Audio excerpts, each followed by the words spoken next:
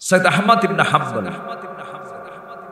তিনি তার বাড়িতে বড় একজন ইমাম ছিলেন, ইমাম দাওয়াত দাওয়াত দিয়েছেন, চলে আসছেন। উনি খুব আনন্দিত হলেন।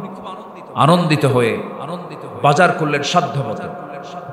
বাজার করে বাজার করে স্ত্রীকে বলেন, স্ত্রী, আমার জীবনের আজকে শ্রেষ্ঠ দিন। এত বড় আলিম, এত বড় জ্ঞানী, আমার বাড়িতে আজকে মেহমান হয়েছেন।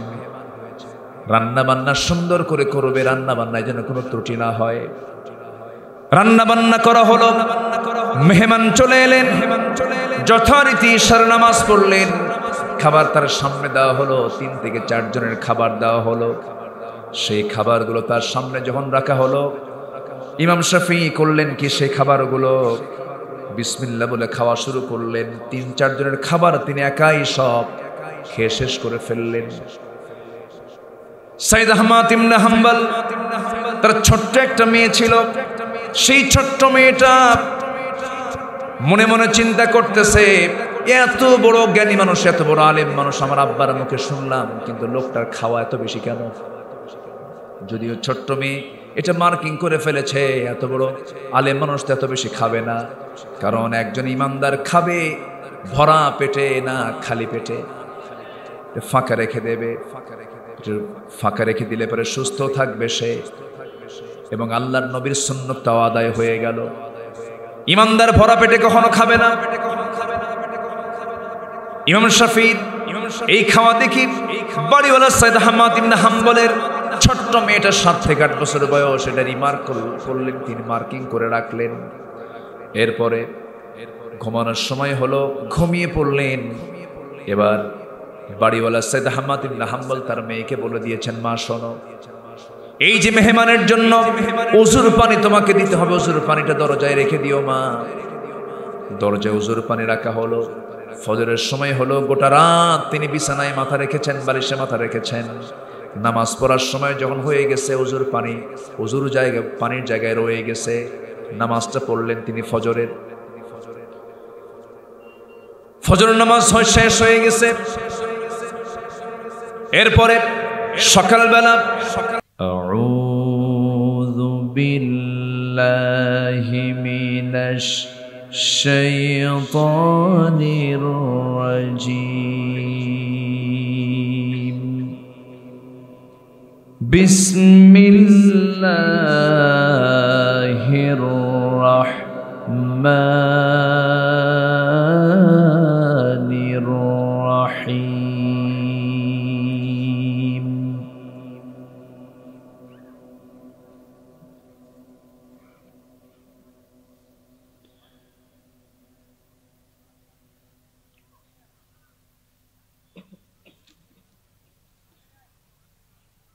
إلا الذين تابوا وأصلحوا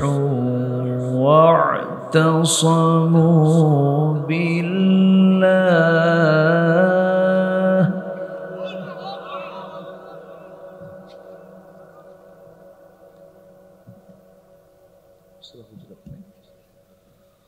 واعتصموا بالله وأخلصوا دينهم لله.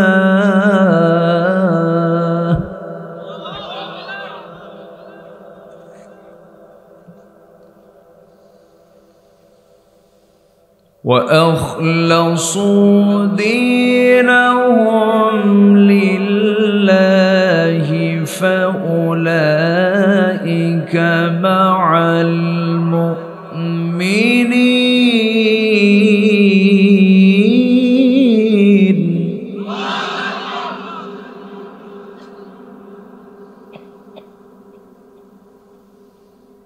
فأولئك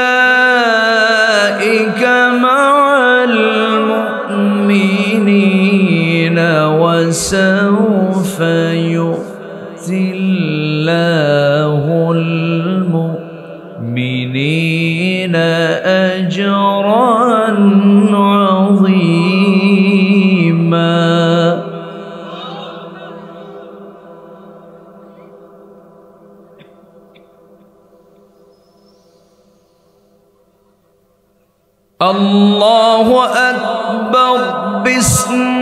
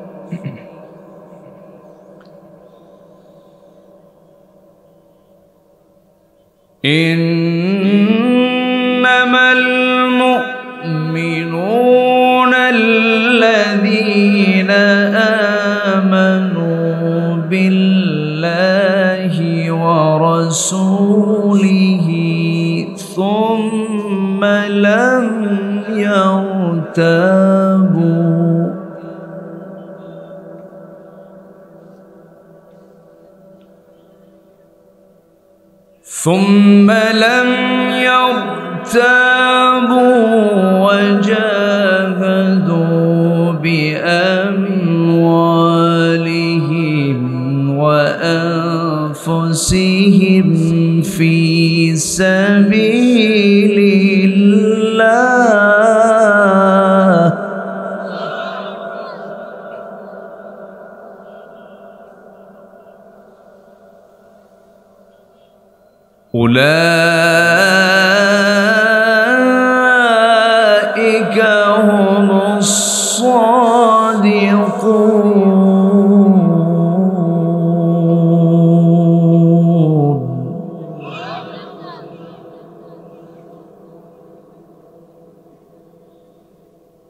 الله أكبر. بسم الله الرحمن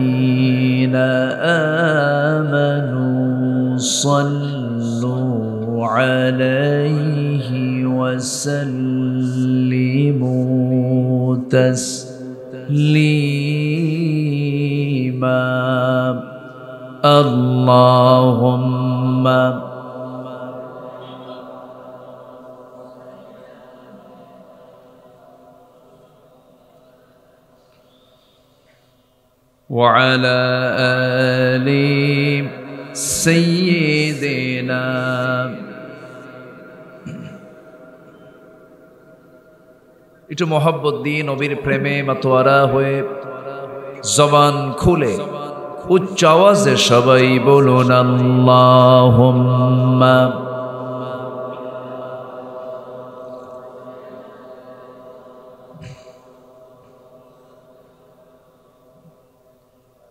وعلى آل سيدنا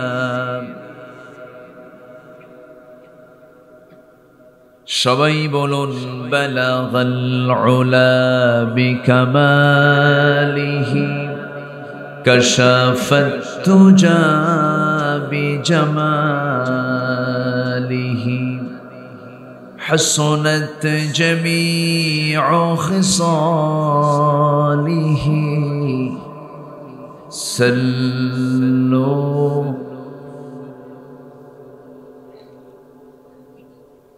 আরবের বুকি, মক্কার পরে যেথায় মা আমেনার ঘর। খোদা রহমতে কৌসার হয়ে ঝরছে বারম্বার বলা ওলা বিকমালিহি কশাফত তুজা। بجماله حسنت جميع خصاله سلوا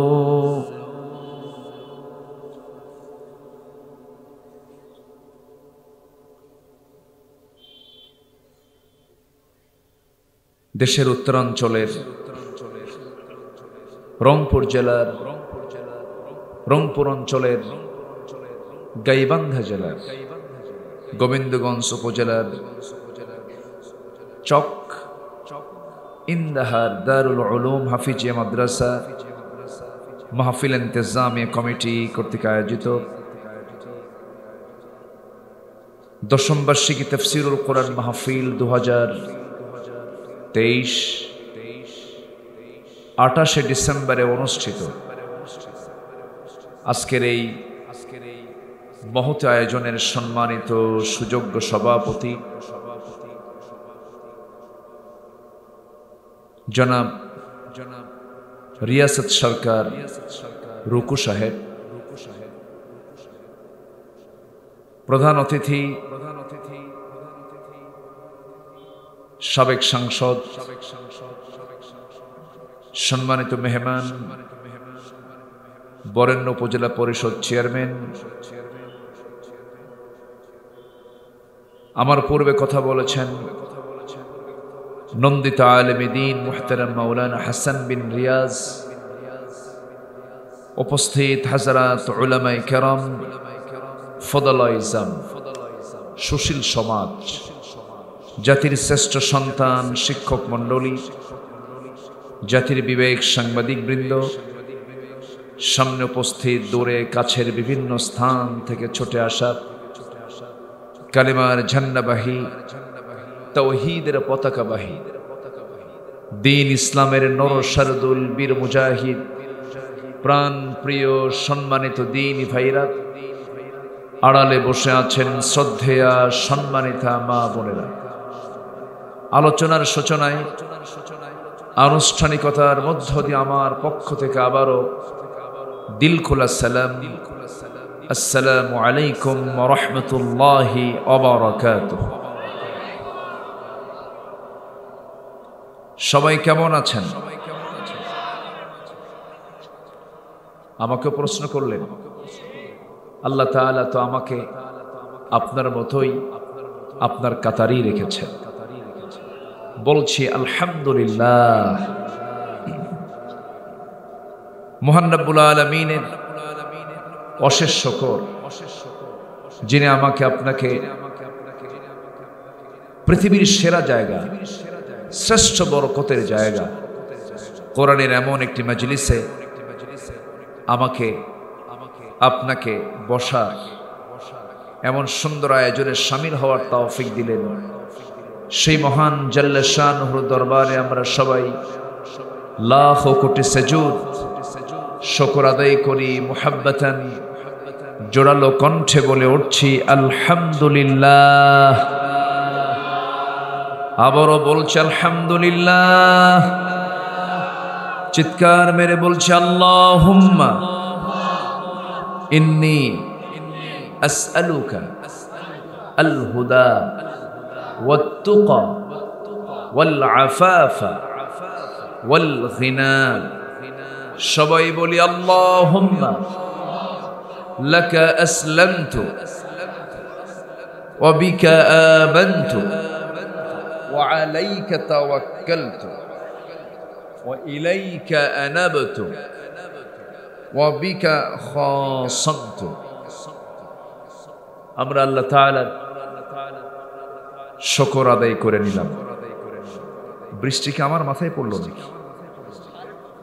সরাই দেন।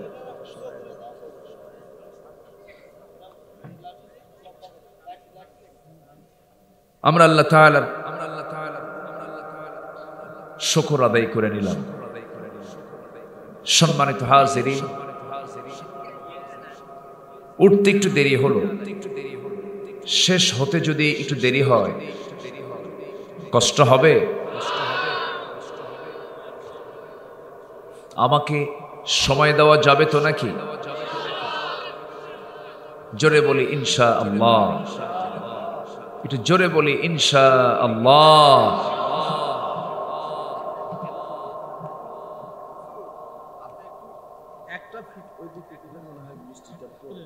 ভাই একটু ভাই আপনি দাঁড়ান আমি আগে দিচ্ছি।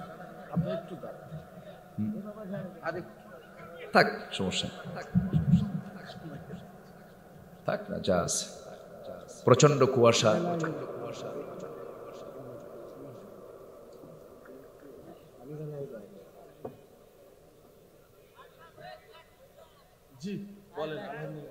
জি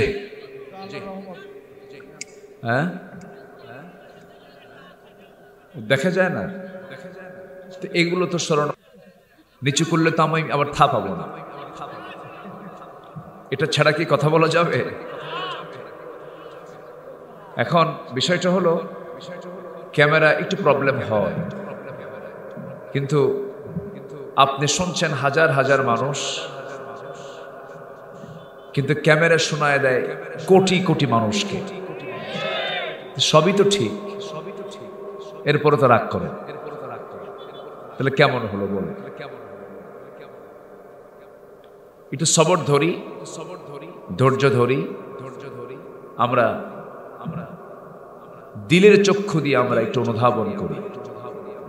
সব ঠিক হয়ে যাবে। জোরে বলি ইনশা আল্লাহ একটু বসুন। আমি দুটো সুরা থেকে দুটো আয়াতি কারিমা তেলাওয়াত করেছি। এরকম করি না। আমি সুরা হুজরাত খুঁজতেছি এই কোরআনের ভিতরে। দেখি সুরা হুজরাত নাই। মানে প্রিন্টিং মিস্টেক হয়ে গেছে। বারবার খুঁজতেছে, পাচ্ছি না। শেষে দেখি না, হুজরাত নাই। উনপঞ্চাশ নাম্বার সুরা খুঁজে পাচ্ছি। পরে আবার আরেকটা জিল্দ নিয়ে শুরু করলাম। ভাবলাম তো তেলাওয়াত তো শুরু করতে হবে। সুরা নিসার দিকে চলে গেছে। সেখান থেকে একটা আয়াত আমি তেলাওয়াত করেছি এবং সুরা হুজরাত থেকে একটা আয়াত আমি তেলাওয়াত করেছি। এই আয়াত দয় থেকে কিছু কথা আমি বলতে চাচ্ছি, আল্লাহ যেন আমার মুখ থেকে সেই কথাগুলো বের করে দেন যেটা জাতির জন্য, মুসলিম উম্মার জন্য খুবই জরুরি। আল্লাহ কবুল করুন। এটা জোরে বলি আল্লাহ আমিন। সম্মানিত দিনী ভাইরা, সম্মানিত উপস্থিতি। আমরা যে কালামের কথা শুনতে এসেছি এই কালাম যে সময় নাজিল হয়েছে, সে সময় কি বৈদ্যুতিক লাইট ছিল? এই ইলেকট্রিক লাইট কি ছিল? মাইক ছিল না।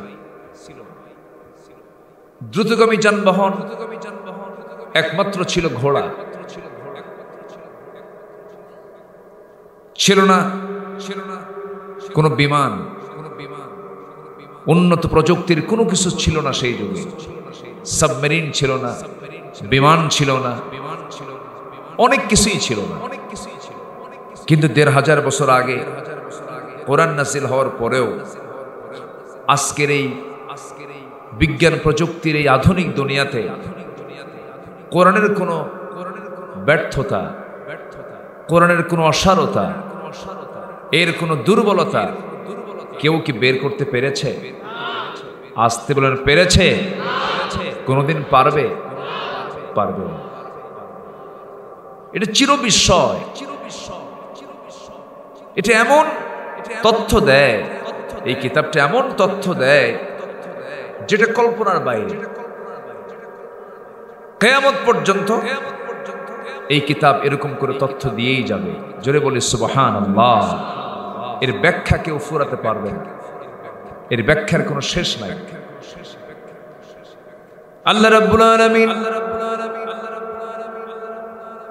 সূরাতুল কাহফের শেষের দিকে বলছেন قل لو كان البحر مدادا لكلمات ربي ربي لنفد البحر قبل أن تنفد كلمات ربي ولو جئنا بمثله مددا جربنا الله أكبر আল্লাহ রাব্বুল আলামিন আরেক জায়গায় বলছেন ولو أن ما في الأرض من شجرة أقلام والبحر يمده من بعده سبعة أبحر ما نفدت كلمات الله جربنا الله أكبر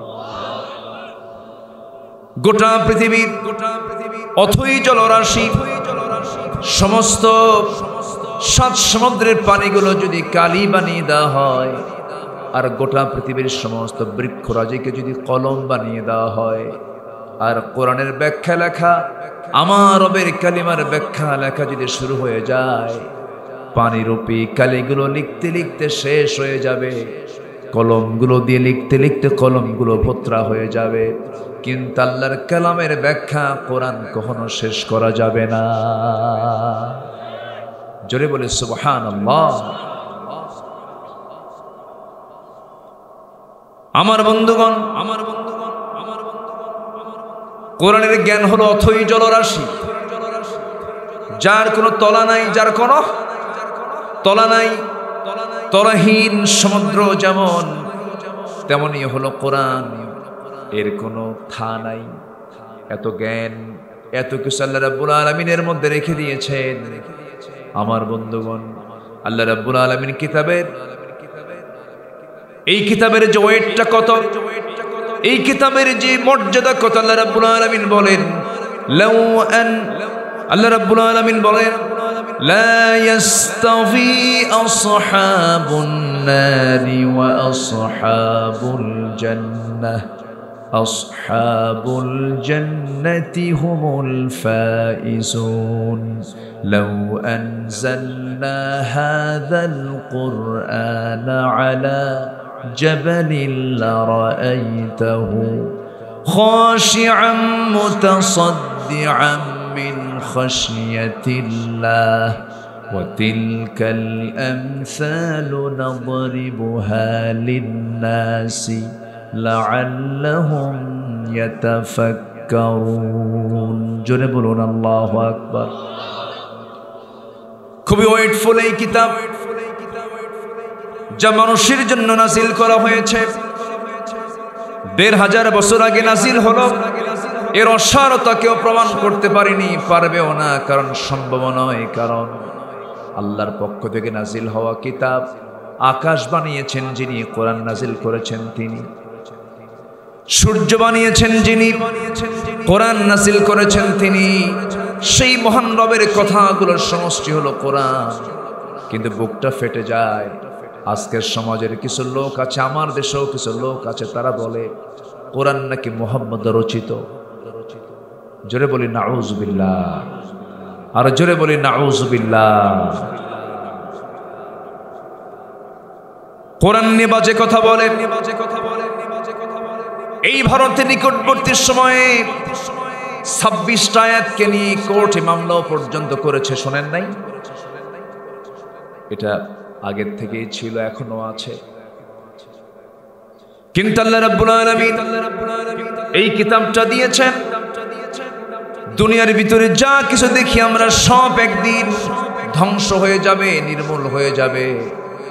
আকাশ সিটকে সিটকে পড়বে, ভেঙ্গে ভেঙ্গে যাবে, সূর্য সংকুচিত হয়ে যাবে, তারকাগুলো সিটকে সিটকে পড়বে সব কিছু ধ্বংস হলেও ধ্বংস হবে না কখনো। তার নাম হলো কোরআন। জোরে বলি সুবহান এটা কখনো? ধ্বংস হবে না। বসে। সেই সেই মহাগ্রন্থ আল কোরআন। এই কিতাবের মধ্যে আল্লাহ বান্দার জন্য যে বিধানগুলো দিয়েছেন সে বিধানগুলো দুর্বল না মজবুত? বলেন তো, দুর্বল না মজবুত? আচ্ছা আমরা যখন কেউ কোনো কনস্ট্রাকশনে যায় বিল্ডিং নির্মাণে যাই, আমরা কি দুর্বল করে করি না মজবুত করে করি চেষ্টা করি? চেষ্টা করি যেন এটাকে মজবুত করে যেন সম্পূর্ণ করা যায়। তো মজবুত থাকার, পন্থা থাকার পরেও কেউ কি দুর্বলের দিকে যায়? যায় না। আল্লাহ তালা কোরআনে যা দিয়েছেন, সব বান্দার শুধু কল্যাণ না মহাকল্যাণ? কিন্তু দুঃখজনক হলেও সত্য, আল্লাহ তালা কোরআনে যে সমাধানটা দিয়েছেন, সেই সমাধান আজকে মুসলমান না খুঁজে। মুসলমান জাতি আজকে কোরআন থেকে সমাধানের কিতাব না খুঁজে দুনিয়ার তৈরি করা বিধানের পিছনে খুঁজতেছে। আসতে বলবেন, না, আসে না, নাই। পিছনে দৌড়াচ্ছে তা আজকে মুসলমানের মুখ থেকে বের হয়। কোরআন হলো ধর্মীয় গ্রন্থ। কোরআনটাকে আমরা শুধু নামাজই ব্যবহার করব, সমাজ চালাবো আমরা। কোরআনকে ধর্মের বাইরে, ধর্মীয় অনুষ্ঠানের বাইরে ব্যবহার করা যাবে এরকম জাতীয় বাজে মন্তব্য করার লোক আমার দেশে আছে না নাই। আসতে বলবেন না, আছে না নাই? তার বাস্তবতা হলো, তার বাস্তবতা হলো, আজকে সমাজে সুদ প্রতিষ্ঠিত না জাকাত প্রতিষ্ঠিত? তার ফলাফল হলো, আমার দেশে পর্দার বিধান কি চালু আছে? আজ পর্দার বিধান কি চালু আছে? তা তো নাই। বেশ্যাবৃত্তির লাইসেন্সও আছে না নাই? আছে এটা নারী তার গলায় ঝুলিয়ে রেখে বলছে I am a sex worker আমি একজন যৌন কর্মী। আপনি তাকে ধরতে পারবেন না। সে লাইসেন্স ধারী একজন যৌন কর্মী। তাকে লাইসেন্স দেওয়া হয়েছে। তাহলে কোরআনকে পরিপূর্ণ মানে না, তার ফলাফল হলো এগুলো।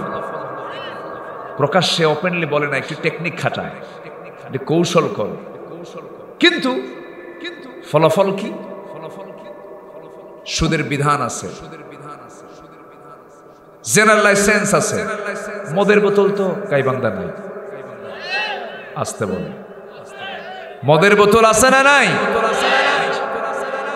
কোন এক অভিনেত্রীর সাথে, কোন এক পুলিশ অফিসারের আপত্তিকর একটা সম্পর্ক, ভিডিও ফাঁস হওয়ার পর কোন এক পুলিশ কর্মকর্তা বলেছিলেন যে অপরাধ তারা করেছে, এটার শাস্তি হলো জরিমানা হলো একশো টাকা। কত? একশো। তাহলে যদি আজকে কোরআন তার আসল জায়গায় যদি কোরআনকে রাখা হতো এমন চিত্র কি চিত্রায়িত হতো? আমরা কি দেখতে পেতাম? দেখতে পেতাম তাহলে মুসলমান কি করে? সুদ খায়। মুসলমান বেশ্যাবৃত্তির লাইসেন্স দেয়। মুসলমান মদের দোকান দেয়। আবার মুসলমান সেজে সিনেমায় অভিনয় করে। নায়কের ভূমিকা পালন করে নাচানাচি করে যৌন সুশ্রীপূর্ণ অভিনয় করে। আবার সুযোগ আসলে সময় আসলে মসজিদের মেম্বারে গিয়ে মাথায় টুপি দিয়ে আবার। আসে না নয় তাহলে টুপি কি সিজনে পড়ে না সব সময় পড়ে? না টুপি পরার নিয়ম কি? সিজন না অল টাইম? যারা সিজনে ইউজ করে, তারাই তো ধর্মের ব্যবসা করে। ঠিক কিনা? কথা বলব? কষ্ট পাচ্ছেন না তো? এখানে কোনো গোবিন্দ টোবিন্দ নাই। এখানে মুসলমান। নাম তো গোবিন্দগঞ্জ আছে।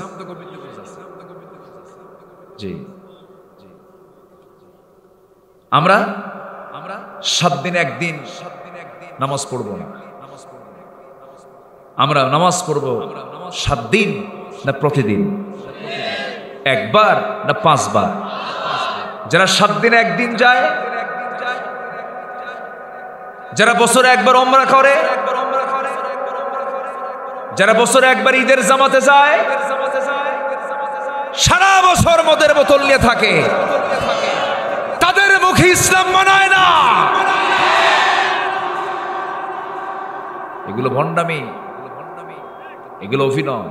এগুলো কি? অভিনয়। সম্মানিত ভাইয়েরা, ইসলামকে আংশিক মানার কোনো সুযোগ নেই। আজকে যদি জাতি কোরআনের শিক্ষায় যদি শিক্ষিত হতো, এই চিত্র আজকে চিত্রায়িত হতো না। গতকালকে এক মাহফিলে উপস্থিত থাকা অবস্থায় এক চেয়ারম্যান মহোদয়কে ফোন দিয়েছে। স্থানীয় এক নাগরিক তাকে ফোন দিয়ে বলছে, চেয়ারম্যান সাহেব, আমার এলাকায় এক ছেলে তার মাকে জবহ করেছে। এরকম ঘটনা তো গোবিন্দগঞ্জে হয় না। আছে কিনা বলেন। আজকে সন্তান তার মাকে মারতেছে। বটি দিয়ে জব করতেছে। আজকে বাবা তার মেয়েকে সম্পদ থেকে মাহরুম করছে। এটা তো মনে গোবিন্দগঞ্জে নাই। আছে না নাই। তাহলে আমরা মুসলমান। নামাজ পড়ি না। মুসলমান সুদের কারবার করি। বেশ্যাবৃত্তির লাইসেন্স দেই। জেনাকে প্রমোট করি। আমরা কেমন মুসলমান?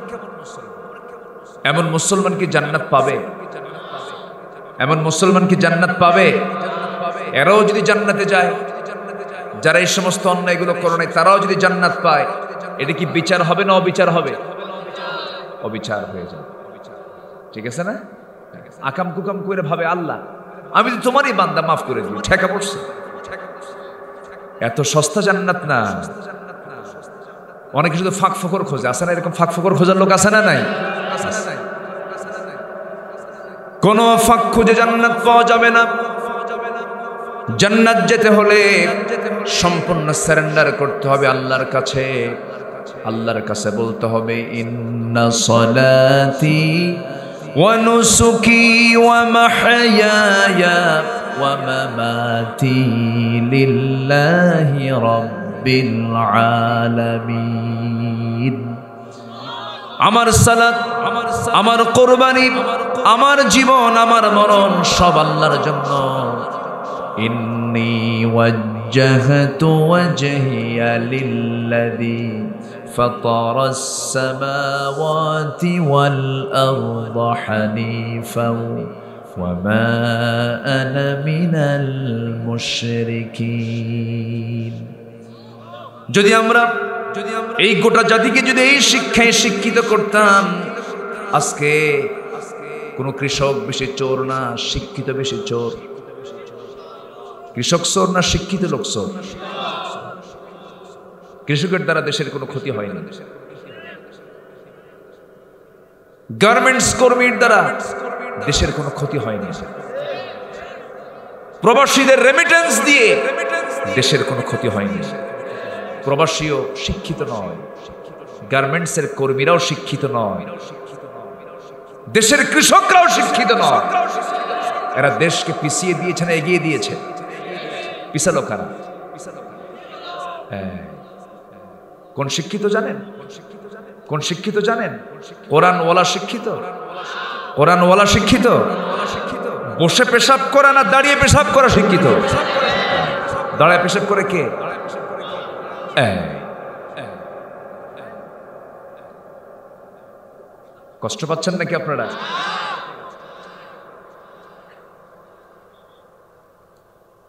এত সুন্দর মানুষ আপনারা, বলি আলহামদুলিল্লাহ। অনেকে বসে বসে বাদামও খাচ্ছে দেখি। আওয়াজ হয়। দুটো একসাথে হয় না, একটু অশনে আমার দিকে তাকান আমার দিকে তাকান। তাহলে তাহলে আমার দেশের আমার দেশের কৃষক কত কষ্ট করে ভাই, কত কষ্ট করে। একটা ধান, পাকাতে যে কত কষ্ট করা লাগে। একটা কলার বাগানকে কলার বাগানকে ফল আনতে কত শ্রম দিতে হয়। এত কষ্ট করে দেশকে এগিয়ে দেয়। আর শিক্ষিত নামের কিছু, দেশ থেকে টাকা পাচার প্রবাসীরা বিদেশ থেকে টাকা পাঠায়, আর সোররা দেশ থেকে টাকা পাচার মাইকে কোনো ডিস্টার্ব নাই। যা আছে, আলহামদুলিল্লাহ। এই কথা বললে ওনার মাইক আরও খারাপ হয়ে যাবে। টেনশনে তাই না? যা আছে, আলহামদুলিল্লাহ বলেন। একটু চেষ্টা করবেন, যতটুকু ভালো রাখা যায় হ্যাঁ? একটু চেষ্টা করবেন। মাইকওয়ালা মাসাল্লাহ খুব হাসি খুশি মানুষ, কিন্তু মুখে কোনো দাড়ি নেই। নামাজ পড়ছেন তো এসার নামাজ? মাগরিব? পড়েন তো নামাজ? পাঁচ অক্ট আলহামদুলিল্লাহ কিন্তু মুখে দাড়ি একটু মিস হয়ে গেছে। ভালো। পিছনে আপনার মাথায় পড়ছি কেন? কি হয়েছে আপনার? কি লাগছে? আচ্ছা আঘাত লাগছে। সম্মানিত ভাইয়েরা সম্মানিত ভাইয়েরা তাহলে শ্রমিকের দাম মনে হয় আল্লাহর কাছে নাই নাকি? শ্রমিকের দাম কিন্তু আছে। কৃষকের দাম আছে, শ্রমিকের দাম আছে।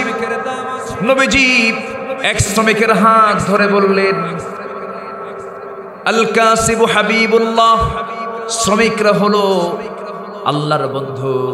শ্রমিকের হাত, শক্ত হাত, এই হাতকে কে পছন্দ করেন? সবচেয়ে বরকতময় রিজিক হলো যেই রিজিকের মধ্যে ঘাম ঝরানো আছে। নবজি শ্রমিকদের লিডার ছিলেন। রসুল বলেছেন, শ্রমিকের ঘাম শুকানোর পূর্বেই তার পাওনাটা দিয়ে দাও। এমন করে পৃথিবীর কোনো শ্রমিক লিডার বলতে পারে নাই। আমার বন্ধুগণ, ইতিমের ব্যাপারে রসুল বলেছেন যে বান্দা ইতিমের মাথায় একটাবার হাত বোলায় দেবে, মোহাব্বতের পরশ দিয়া, তার মাথায় যত চুল আছে, প্রত্যেকটা চুলে চুলে তাকে আল্লাহ রাব্বুল আলামিন নেকি দিয়ে ভরপুর করে দেন। ইসলাম তো মানবতার কথা বলে, কিন্তু গোটা দুনিয়া জুড়ে যে মানবতার ফেরিওয়ালা যারা যারা মানবতার ফেরিওয়ালা মানবতার ফেরিওয়ালা মানবতার কথা শুধু মুখেই বলে, কিন্তু কাজে তাদের কোনো প্রমাণ নেই। আমার বন্ধুগণ, কাজে প্রমাণ করেছেন মোহাম্মদ সাল্লাল্লাহু কি দিয়া বলেন? আসতে বলবেন না কি দিয়া? কোরআন দিয়া। সেই কোরআনকে আমরা জীবনের সকল জায়গায় মেনে চলবো। কোরআন মানলে শান্তি না অশান্তি। কোরআন মানলে অসুস্থ না সুস্থ? সুস্থ সুস্থ দু প্রকার শারীরিক আর একটা কি? মানসিক। কোন রোগ সবচেয়ে বেশি জটিল? শারীরিক না মানসিক? মানসিক। মনের সমস্যা? বড় সমস্যা। না মানিক ভাই? ভাই মনের রোগ ধরা কঠিন। আপনার লাংসে প্রবলেম আপনার লিভার প্রবলেম অথবা আপনার পেটে কোনো সমস্যা? আপনার হার্টে কোনো সমস্যা? বাইপাস সার্জারি হলো। ওপেন হার্ট সার্জারি হলো। আপনার হাড় হুড়ে সমস্যা?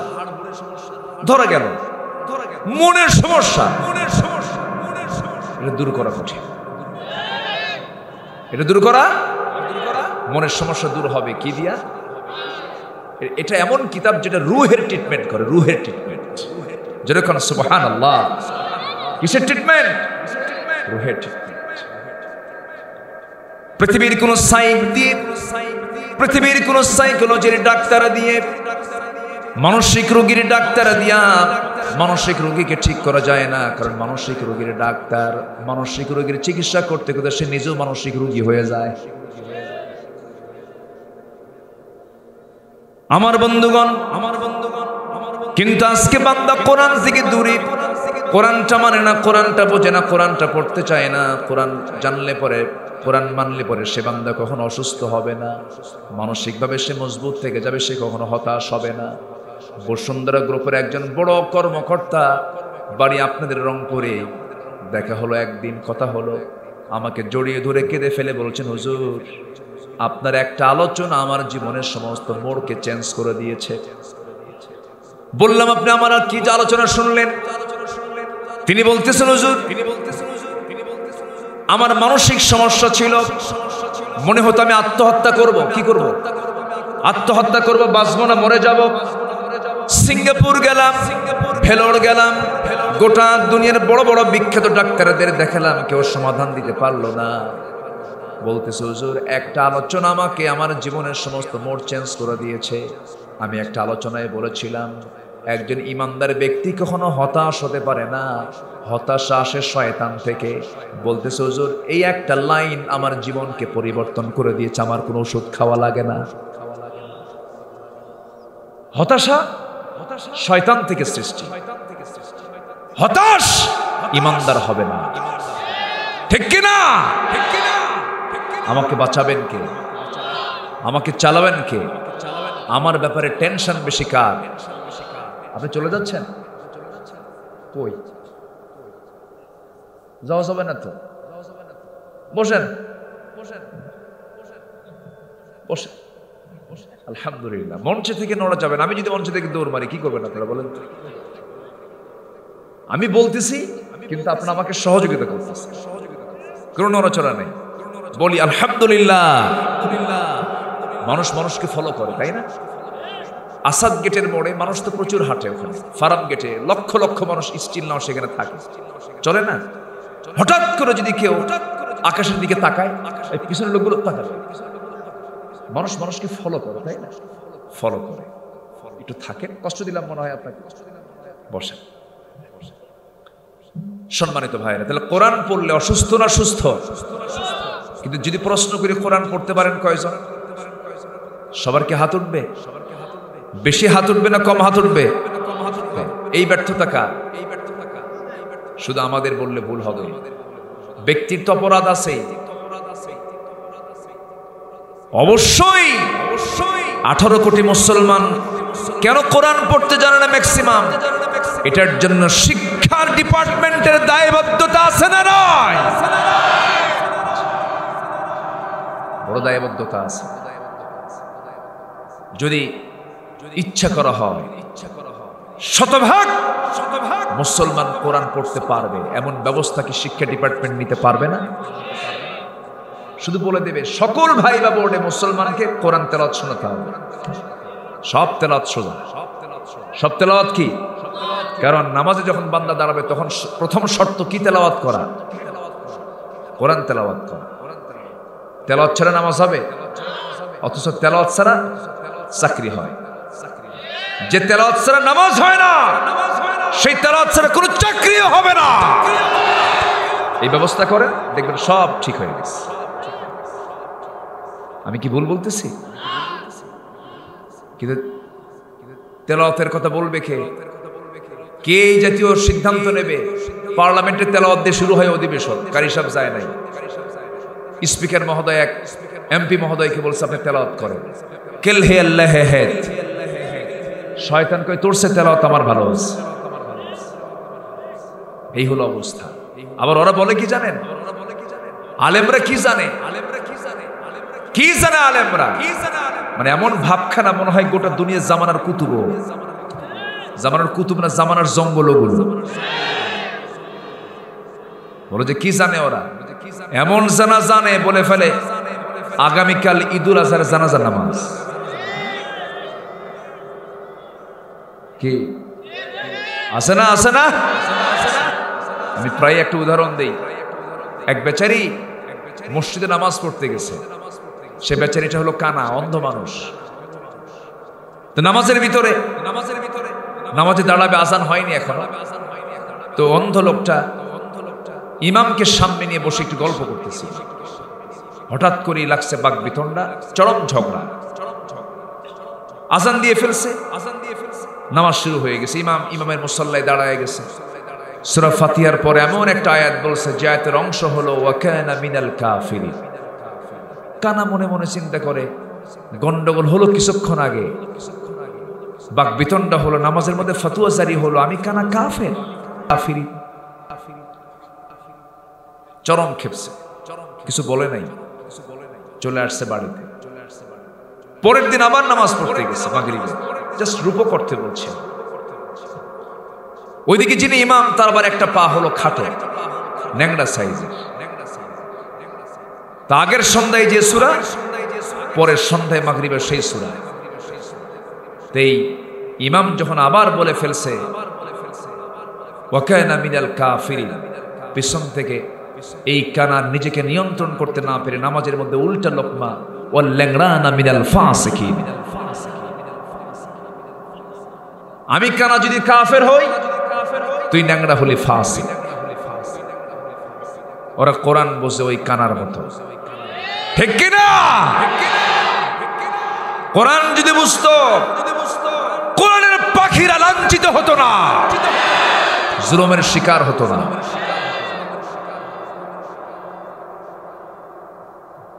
সম্মানিত ভাইয়েরা, দুনিয়ার লাঞ্ছনা আসুক, দুনিয়ার জেল জুলুম আসুক না, কিন্তু আমরা দুনিয়া চাই না আখেরাত চাই। দুনিয়া চাই না, আখেরাত চাই আমরা। যদি আমরা আখেরাতটাই চাই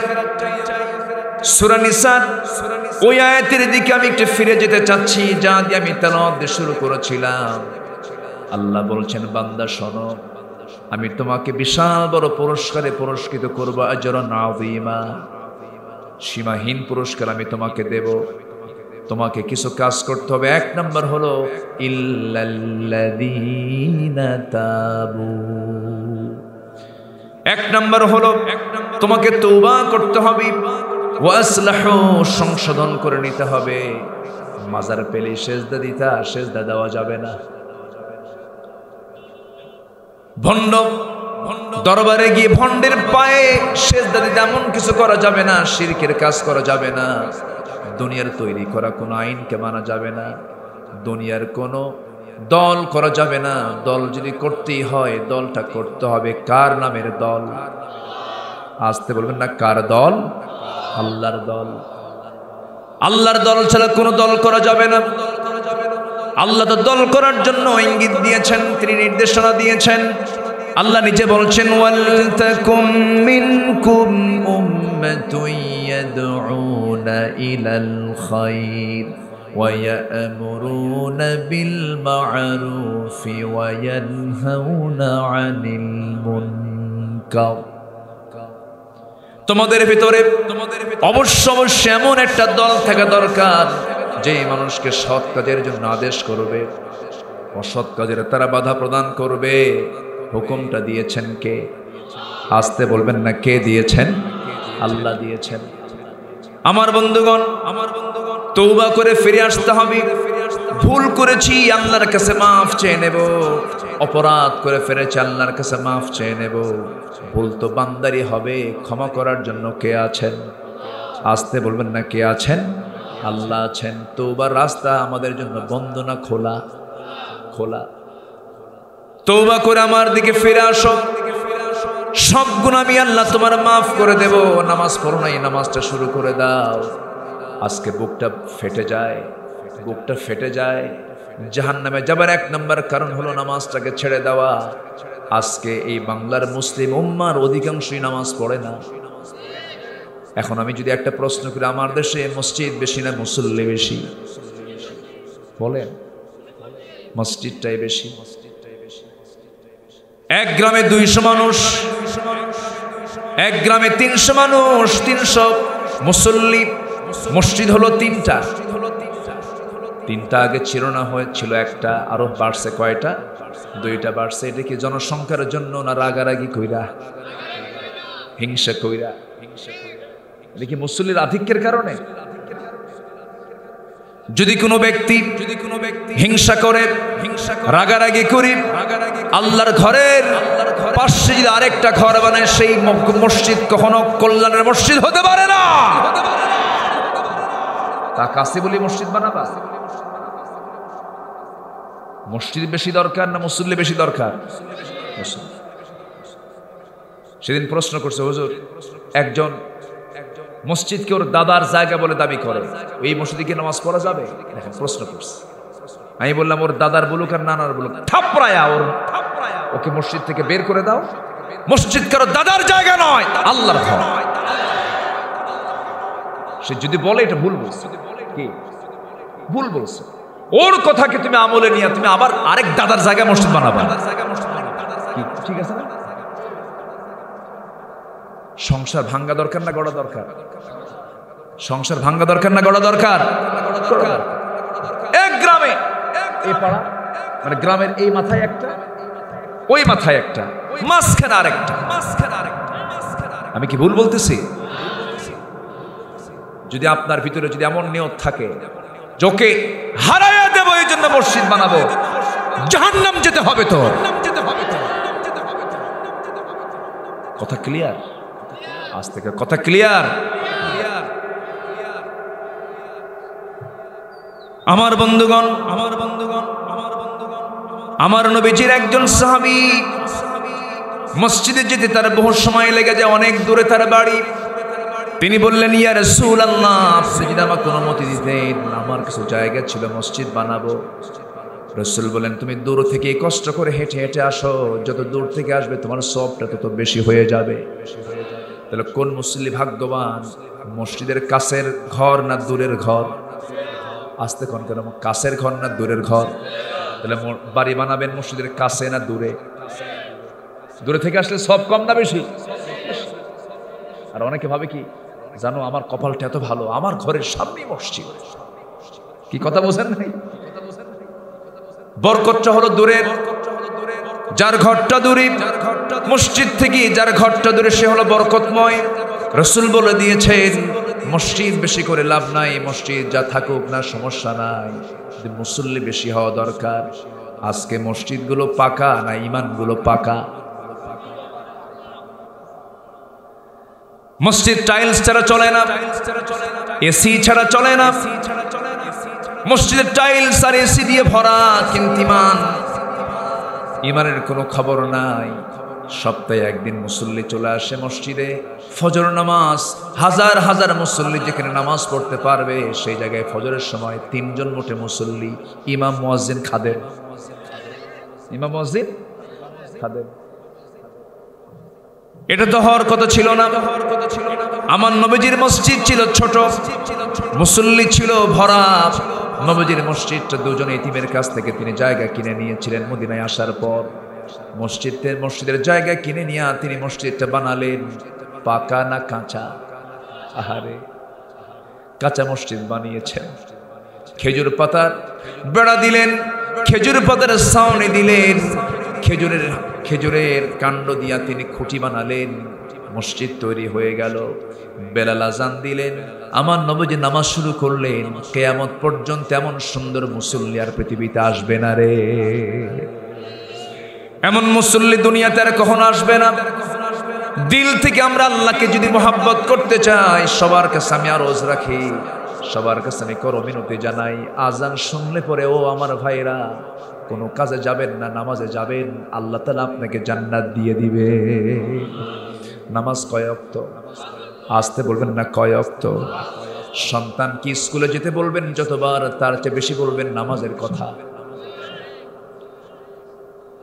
আপনি স্কুলে পড়ানোর জন্য, শিক্ষা দেবার জন্য পেরেশান হচ্ছেন, কিন্তু সন্তানটা নামাজ ছেড়ে দিচ্ছে, আপনি কিছুই বলছেন না। না না। ফজরের সময় আপনি সবার আগে উঠবেন, আপনি বাবা। আপনি মা সবার আগে উঠবেন। ঘুম থেকে উঠেই আগে তাহাজ্জত পড়বেন। তাহাজ্জত পরে স্বামী, স্ত্রী দুজন মিল আল্লাহর কাছে কাঁদবেন আর বলবেন, আল্লাহ, সন্তানগুলোকে চক্ষু শীতলকারী বানায় দাও। ফজরের সময় আস্তে করে সন্তানদের ঘর থেকে ডাক দিয়ে তুলবেন, চল মসজিদে চলে যাই। দিনের শুরুটা যদি জামাত দিয়ে, মসজিদ দিয়ে যদি নামাজ শুরু হয়ে যায়, আল্লাহর কসম করে বলি, ওই বাড়িতে কখনো অশান্তি থাকবে না। কখনো শান্তি থাকবে না। নামাজ দিয়ে দিন শুরু করব আমরা। কোরআন তেলাওয়াত দিয়ে দিন শুরু করব। ডাক্তার লাগবে না, কোনো অসুস্থতা আসবে না, কোনো রোগ আসবে না। আগের যুগের দাদারা, দাদিরা, তাদের চোখে কোনো চশমা লাগতো না, পাওয়ার লাগতো না। ফজরের সময় তারা উঠতেন, মসজিদের দিকে চলে যেতেন। আমার দাদিকে নিজের চোখে দেখেছি, এমন কোনো সকাল নাই যে সকালে সূর্য ওঠা পর্যন্ত আমার দাদি কোরআন পড়েন নাই। সব দাদিরাই পড়েছে কিন্তু ভাবিরা পড়ে ভাবিরা ঘুমোতে যান রাত তিনটার দিকে আর ঘুম থেকে ওঠেন সকাল এগারোটার দিকে। সকাল এগারোটা না? সকাল হ্যাঁ? বেলা এগারোটা। বেলা? হ্যাঁ, তাহলে সকাল এগারোটা হয়। বেলা এগারোটায় ওঠে। বুরিকেলি উম্মতি ফি বুকুরিহা। আমার উম্মতের বরকতময় সকাল বরকতময় সময় হলো সকাল। সেই সকালটা ঘুমে চলে যায়, সমস্ত বরকতগুলো চলে যায়। আমার ভাইয়ের আমরা তৌবা করে সিদ্ধান্ত নিয়ে ফেলব। তৌবা মানে হলো ফিরে আসা। আজকের এই মাহফিল থেকে সিদ্ধান্ত নেব, আমরা জীবনে কখনো আর এক অক্ত নামাজ কাজা করব। আসতে বলবেন না, কাজা করব। কাজা করব। এটাই হলো তৌবা এটাই হলো তৌবা তৌবা কোনো নির্দিষ্ট দোয়ার মধ্য দিয়ে ফিরে আসা নয়। নামাজ ছেড়েছি নামাজ পড়ব, চুরি করেছি, চুরি ছেড়ে দেব, জেনা করেছি, জেনা ছেড়ে দেব, ডাকাতি করেছি, ডাকাতি ছেড়ে দেব। এরপরে জিনের বাদশা ছিলাম। আছে না? ভাবতেছেন হুজুর খবর রাখে না?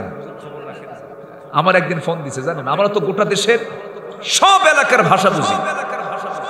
কোন অঞ্চলের কোন ভাষা, যে যত গ্রামার খাটায় কথা বলুক, ওর মায়ের ভাষার টান আসবেই ঠিক কিনা ধরা পড়বে। দু এক লাইন বলতে ধরা খাবে যে এটা কোন এলাকার মানুষ। ভাষা বলে দেবে। ভাষা বলে দেয়।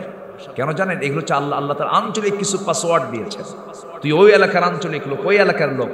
আল্লাহ সিকিউরিটি দিয়েছেন এগুলো। সিকিউরিটি কোড এগুলো কি কোড বলেন? সিকিউরিটি কোড গোবিন্দগঞ্জের মানুষ যে ভাষায় কথা বলে। পলাশবাড়ি ওই ভাষায় কথা বলে? মিঠাপুকুর। অঞ্চল কিন্তু একই। একটু হেরফের আছে। টের পাওয়া যায় এটা কোন এলাকা থেকে আসছে। তো আমাকে ফোন দিয়ে বলে, আমি অমক, মাজার থেকে বলছি। আমি বললাম, বাবা, কি বলেন? কথা বোঝেন নাই? শুনলাম, কিছুক্ষণ ওয়াজ শুনলাম। অনেক লম্বা ওয়াজ। খালি বলতিছে বলতিস এত প্র্যাকটিস করছে, আমার জীবনে মনে আমার ওয়াজেরও এত প্র্যাকটিস নেই। কারণ সোরের তো ব্রেন খাটান লাগে বেশি। সোরের মুখে আল্লাহর জিকির কম হয় না, বেশি হয়? বেশি হয়। কারণ ধরা বললে তো কাম সারা। অনেকক্ষণ ওয়াজ টস করে আমাকে বলতেছে, বাবা, বিকাশে কিছু পাঠানো যায় কি? তো বললাম, বাবা, আমি তো খুব অভাবী। আমি বলছি তো না পাঠালে হয় না। কে বাবা, তোমার তো অসুবিধা হয়ে যাবে। এরকম দিস অ্যান্ড দ্যাট বলতে শুরু করলে। পরে আমি এখন বলতেছি, ভাই, আপনি যে এইভাবে টাকাটা নিবেন, আপনার বাচ্চাকে খাওয়াবেন, আপনার বাচ্চার পেটে তো হজম হবে না। এটা ফুটা হয়ে আবার বের হয়ে। হারাম খাদ্য পেটে ঢুকলে হজম হবে না। ঠিক কিনা? হারামের কোন আরাম? হারাম যেটা, সেটার কোনো আরাম শান্তি পাবেন না। আর হালাল যদি মরিচ ভর্তাও হয়, আল্লাহ ওটা বরকত দিয়ে ভরায় দিবে। জোরে বলে সুবহান আল্লাহ আমরা হারাম কাজে যাব না। জোরে বলি, ইনশাআল্লাহ। প্রতারক জান্নাতি হতে পারে। আমার ভাইয়েরা, আমার এই সমস্ত আকাম কুকামগুলো করেছি। একদিন আল্লাহর সামনে চোখের পানি ফেলে যদি আমরা তৌবা করে, যদি আল্লাহর কাছে মাফ চাইতে পারি, আল্লাহ ভুল হয়ে গেছে, মাফ করে দাও। জীবন আর এই সমস্ত অপকর্মের দিকে যাব না। আল্লাহ বলবেন, বান্দারে স্যারেন্ডারে যখন করেছিস, যা আমি তোকে মাফ করে দিলাম, জোরে বলি সুবহান আল্লাহ কে মাফ করবেন? আল্লাহ মাফ করে দিবেন। আল্লাহ রাব্বুল আলামিন আল্লাহ রাব্বুল আলামিন এরপরে বলছেন, যারা সংশোধন হয়ে যাবে, দল করেছে বাম দল দল করেছে মানুষের তৈরি করা দল, ওই সমস্ত দলগুলোর ভিতর থেকে নিজের নাম কেটে দিয়ে যদি সে আল্লাহর দলের দিকে চলে আসে, আল্লাহ বলবেন, বান্দা, আমি তোর সমস্ত গুণাগুলো মাফ করে দেবো যেরকম সুবহান আল্লাহ বিল্লাহ। এবং আল্লাহর রশিকে যারা শক্ত করে ধরবে ওয়াখলাসু দীনহুম লিল্লাহ। এবং আল্লাহর দিনকে একনিষ্ঠভাবে যারা ধরবে? আল্লাহ বলছেন, এই সমস্ত বান্দাগুলো মমিনদের সঙ্গে থাকবে, এরা সম্মানজনক জান্নাত পেয়ে যাবে। যেরকম সুবহানাল্লাহ। আল্লাহ আল্লাহ রাব্বুল আলামিন আল্লাহ রাব্বুল আলামিন সূরা হুজরাতের 15 নম্বর আয়াত আল্লাহ রাব্বুল আলামিন বলেছেন, বান্দা, দুটা কাজ করে আসো, আমার দফতর থেকে আমি তোমাকে চারিত্রিক সনদ দিয়ে দেব, সত্যবাদীদের সনদ দিয়ে দেব। আল্লাহ বলছেন, দুইটা কাজ শুধু করে আসবে, আমি তোমাকে চারিত্রিক সনদ দেব। আমার দেশেও কিন্তু ইউনিয়ন পরিষদ থেকে কিসের সনদ দেয় বলেন? চারিত্রিক সনদ দেয় দেয় না? হ্যাঁ চারিত্রিক সনদ দেয়। গাছা খাইলেও চরিত্র বানায়। আছে না নাই? মদ খাইলেও চরিত্র। কিন্তু আল্লাহ তাআলা বলছেন, বান্দারে, তুই দুইটা কাজ করে আসবি। আমি তোকে চারিত্রিক সনদ শুধু দেব না, আমি তোকে জান্নাত দিয়ে দেব। এই দুটা আমল শুনে আমরা আজকে এখান থেকে বিদায় নেব, জোরে বলি ইনশাআল্লাহ। আরও জোরে বলি ইনশাআল্লাহ। আমরা আয়াতটা শুনি, যারা পারেন ঠোঁট মিলিয়ে সবাই আমার সঙ্গে বলুন, ইন্নামাল মুমিনুনাল্লাযীনা আমানু বিল্লাহি ওয়া রাসূলিহি সুম্মা লাম ইয়ারতাবু।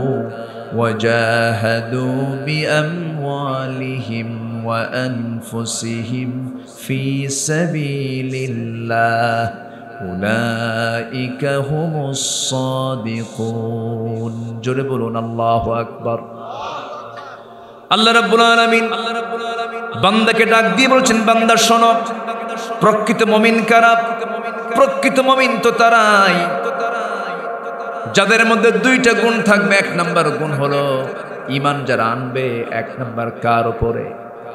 আসতে বলবেন না কার ওপরে? আল্লাহকে আমরা বিশ্বাস করে নিয়েছি, দেখে না না দেখে। আল্লাহকে এখানে কেউ দেখতে পারছেন নাকি? পৃথিবীর কেউ দেখতে পেরেছে নাকি?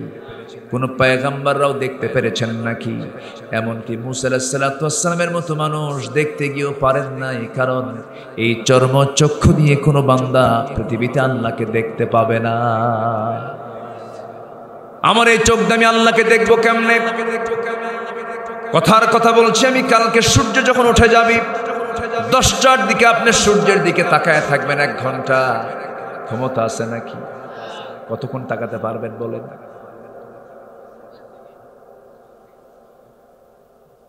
সূর্যের দিকে আপনি কেমনে তাকাবেন?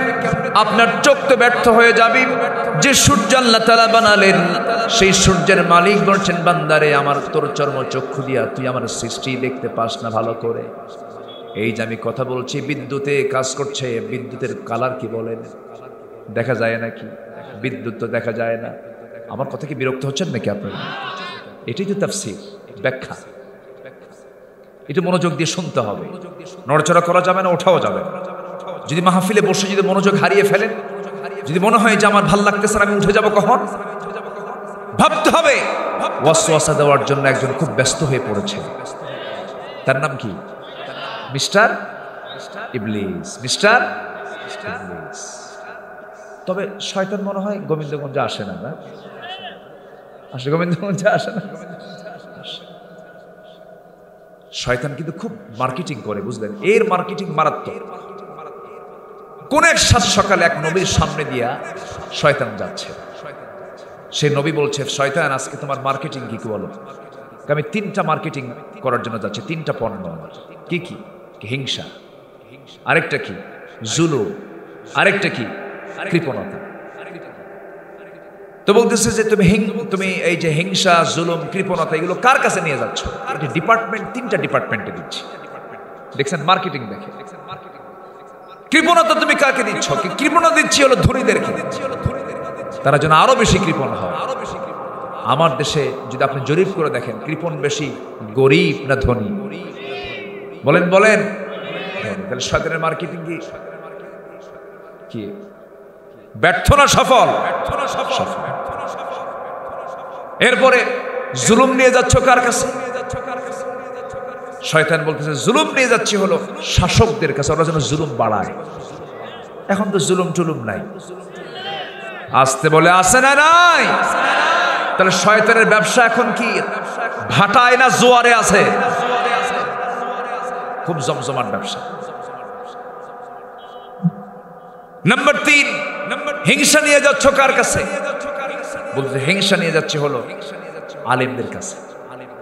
যারা জ্ঞানী যারা জ্ঞানী গুণী মানুষ, তাদের কাছে হিংসা নিয়ে যাচ্ছে। দেখেন না, আমার দেশে হুজুরদের মধ্যে কত কামড়া কামড়ি। আমি আমি এগুলোতে নিয়ে আমি চেষ্টা করি সমাধান খোঁজার। চেষ্টা করি, মুখে অনেক কিছু আসতে চায় মানুষ তো। চেষ্টা করি, সংঘর্ষ নয় সমাধানে আমি আশ্চর্য হয়ে যাই যখন একটা আলেম তার মুখ থেকে যখন বলে বাটপা আমি আশ্চর্য হয়ে যাই। একজন আলেম তার মুখ থেকে যখন বলে, অশ্রাব্য অশ্লীল ভাষায় যখন গালিগালাজ করে, আমার কাছে মনে হয় এই জন্য কেয়ামতের আলামত কেন? যদি একজনকে বলে, ও আলেম কেমন? কত গরু? কো কেউ তো ছাগল? যে বলল, ও গরু ও ছাগল। ও তো আরেক রাম ছাগল, তাই না? এগুলো কেন? কাউকে খাটো চোখে দেখার কোনো লোকমান আলী সালাতাম লোকমান হাকিম জ্ঞান আহরণ করেছেন জ্ঞানীর কাছ থেকে না মূর্খের কাছ থেকে? মূর্খের কাছ থেকে। মূর্খের কাছ থেকে। লোকমান জ্ঞান আহরণ করেছেন কার কাছ থেকে? মূর্খের কাছ থেকে। বলো হলো মূর্খের কাছ থেকে কেন? কো যা করে আমি তার উল্টা আবার আবার তো কাম সারা।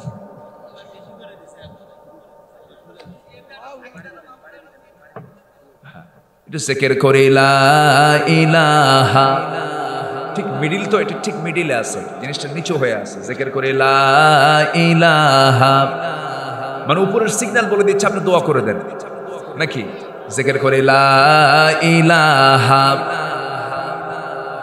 সুবহানাল্লাহ। আলহামদুলিল্লাহ। আপনি এটা একটু ই করে দেন না, উঁচা করে দেন। হ্যাঁ একটু উঁচা করে দেন, তাহলে হয়ে যাবে। হ্যাঁ ব্যাস। থাক, এই লোডে আমাদের শেষ পর্যন্ত চলবে ইনশাল্লাহ ওটা সার্চ সার্চ করে দিন।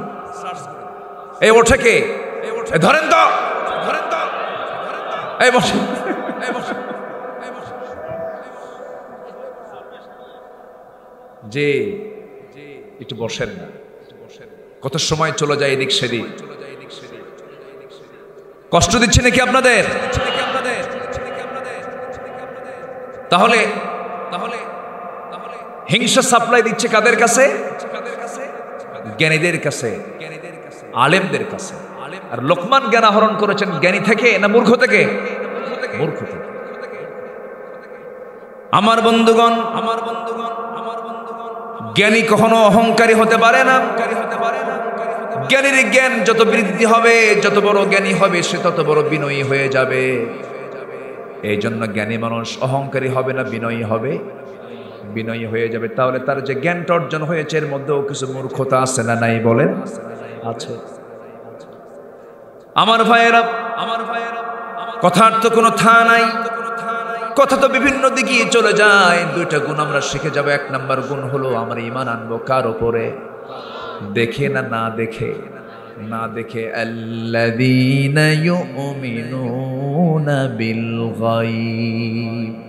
যারা অদৃশ্যের প্রতি যারা বিশ্বাস আনবে।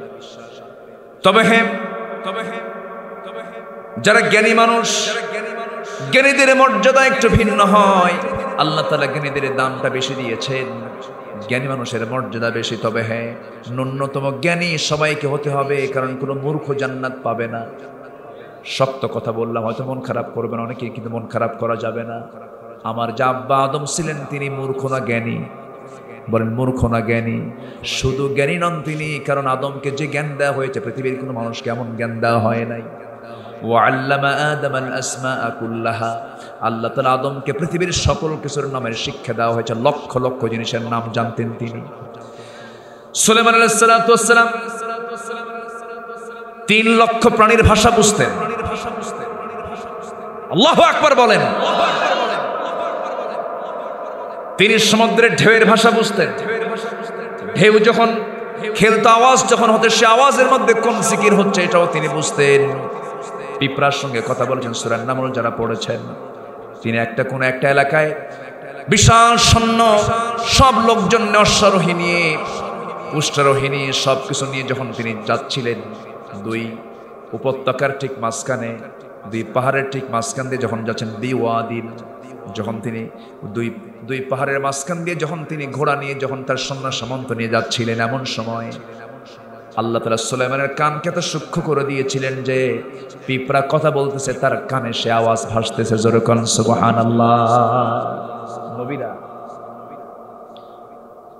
ওই পিঁপড়াকে ওই পিঁপড়াকে, যে পিঁপড়ার কথা শুনলেন, সেই পিঁপড়াকে হাতের মধ্যে আস্তে করে তুললেন। পিঁপড়া বলতেছে, উদুখুলু মাসাকিনাকুম, হে আমার জনগণ, তোমরা সব গর্তের মধ্যে চলে যাও, কারণ সুলাইমানের সৈন্যবাহিনী, সব সব আসতেছে আমাদের দিকে। পদপিষ্ট হয়ে তোমরা মরে যাবা। এটা তিনি শুনতে পেলেন। এখন সুলাইমান একজন রাজা, ওইদিকে পিঁপড়া রাজাকে হাতের তালতে তুললেন। মুসকে মুসকে আসি দিলেন, পিঁপড়ার সঙ্গে কথা বললেন। এত বড় জ্ঞানী ছিলেন সুলাইমান, অথচ চুল পরিমাণ কোন অহংকার তার মধ্যে কখনো কাজ করে নাই। যেরকম সুবহান আল্লাহ প্রাণীর ভাষা বুঝতেন তিনি। আর চার পাঁচ লাইন একটু বেশি পারে। একটু ইংলিশ পারে, খালি ইংলিশই কয়, বাংলা কয় না? এরকম আসা নাই বলেন বুঝায়, আমি একজন জ্ঞানী বাহাদুর, তুমি কিচ্ছু না। জ্ঞানের কোনো অহংকার করা যাবে না। আল্লাহ রাব্বুল আলামিনের প্রতি বিশ্বাস থাকতে হবে। আল্লাহকে আমরা বিশ্বাস করব, আমরা না দেখে। যার বিশ্বাস যত মজবুত হবে, আল্লাহর সঙ্গে সম্পর্ক তত মজবুত হয়ে যাবে। তবে বান্দার আল্লাহর প্রতি ইমানটা তখনই মজবুত হবে যখন বান্দার শিখবে কোন কিতাব বলেন। কোরআন যখন শিখে নেবে, আমরা কোরআন পড়ব, বেশি বেশি গান শুনব। গান শোনাই যাবে না। গান শোনাই যাবে না, কিন্তু বড় বড় কপাল পোড়া কপাল কিছু লোক আছে, দেখবেন যে লোকটা মসজিদ কমিটির সভাপতি, সেই লোকটা আবার যাত্রা কমিটির সভাপতি। এই মাহফিলের আবার অতিথিরা যাত্রা কমিটির অতিথিও হয়। আছে না নয় হয়, কেন এটা? যিনি মসজিদ কমিটির সভাপতি হবেন, তিনি কখনো যাত্রা কমিটির সভাপতি হতে পারেন না এমন চরিত্র হতে পারে একমাত্র মোনাফেকের মোনাফেকের মোনাফেকের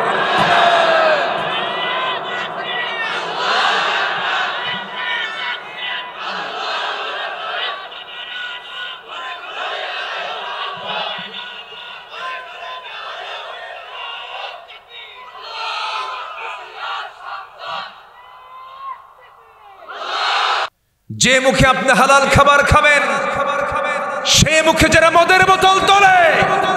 ওদের চরিত্র এমন হতে পারে মুসলমান। মদ খায়? নামাজও পড়ে। আছে না নাই? বলে যে আল্লাহ খুশি থাক, শয়তান বেজার না হোক। এরকম পাবলিক আছে না নাই? এই চরিত্র নিয়ে জান্নাত না জাহান্নাম? জান্নাত না জাহান্নাম? জাহান্নাম। তবে জ্ঞানীর চিন্তাটা ভিন্ন রকম হয়। আমরা জ্ঞানী হব, জোরে বলি ইনশাআল্লাহ। জ্ঞানী হওয়ার জন্য মাস্টার্স ডিগ্রি লাগে না।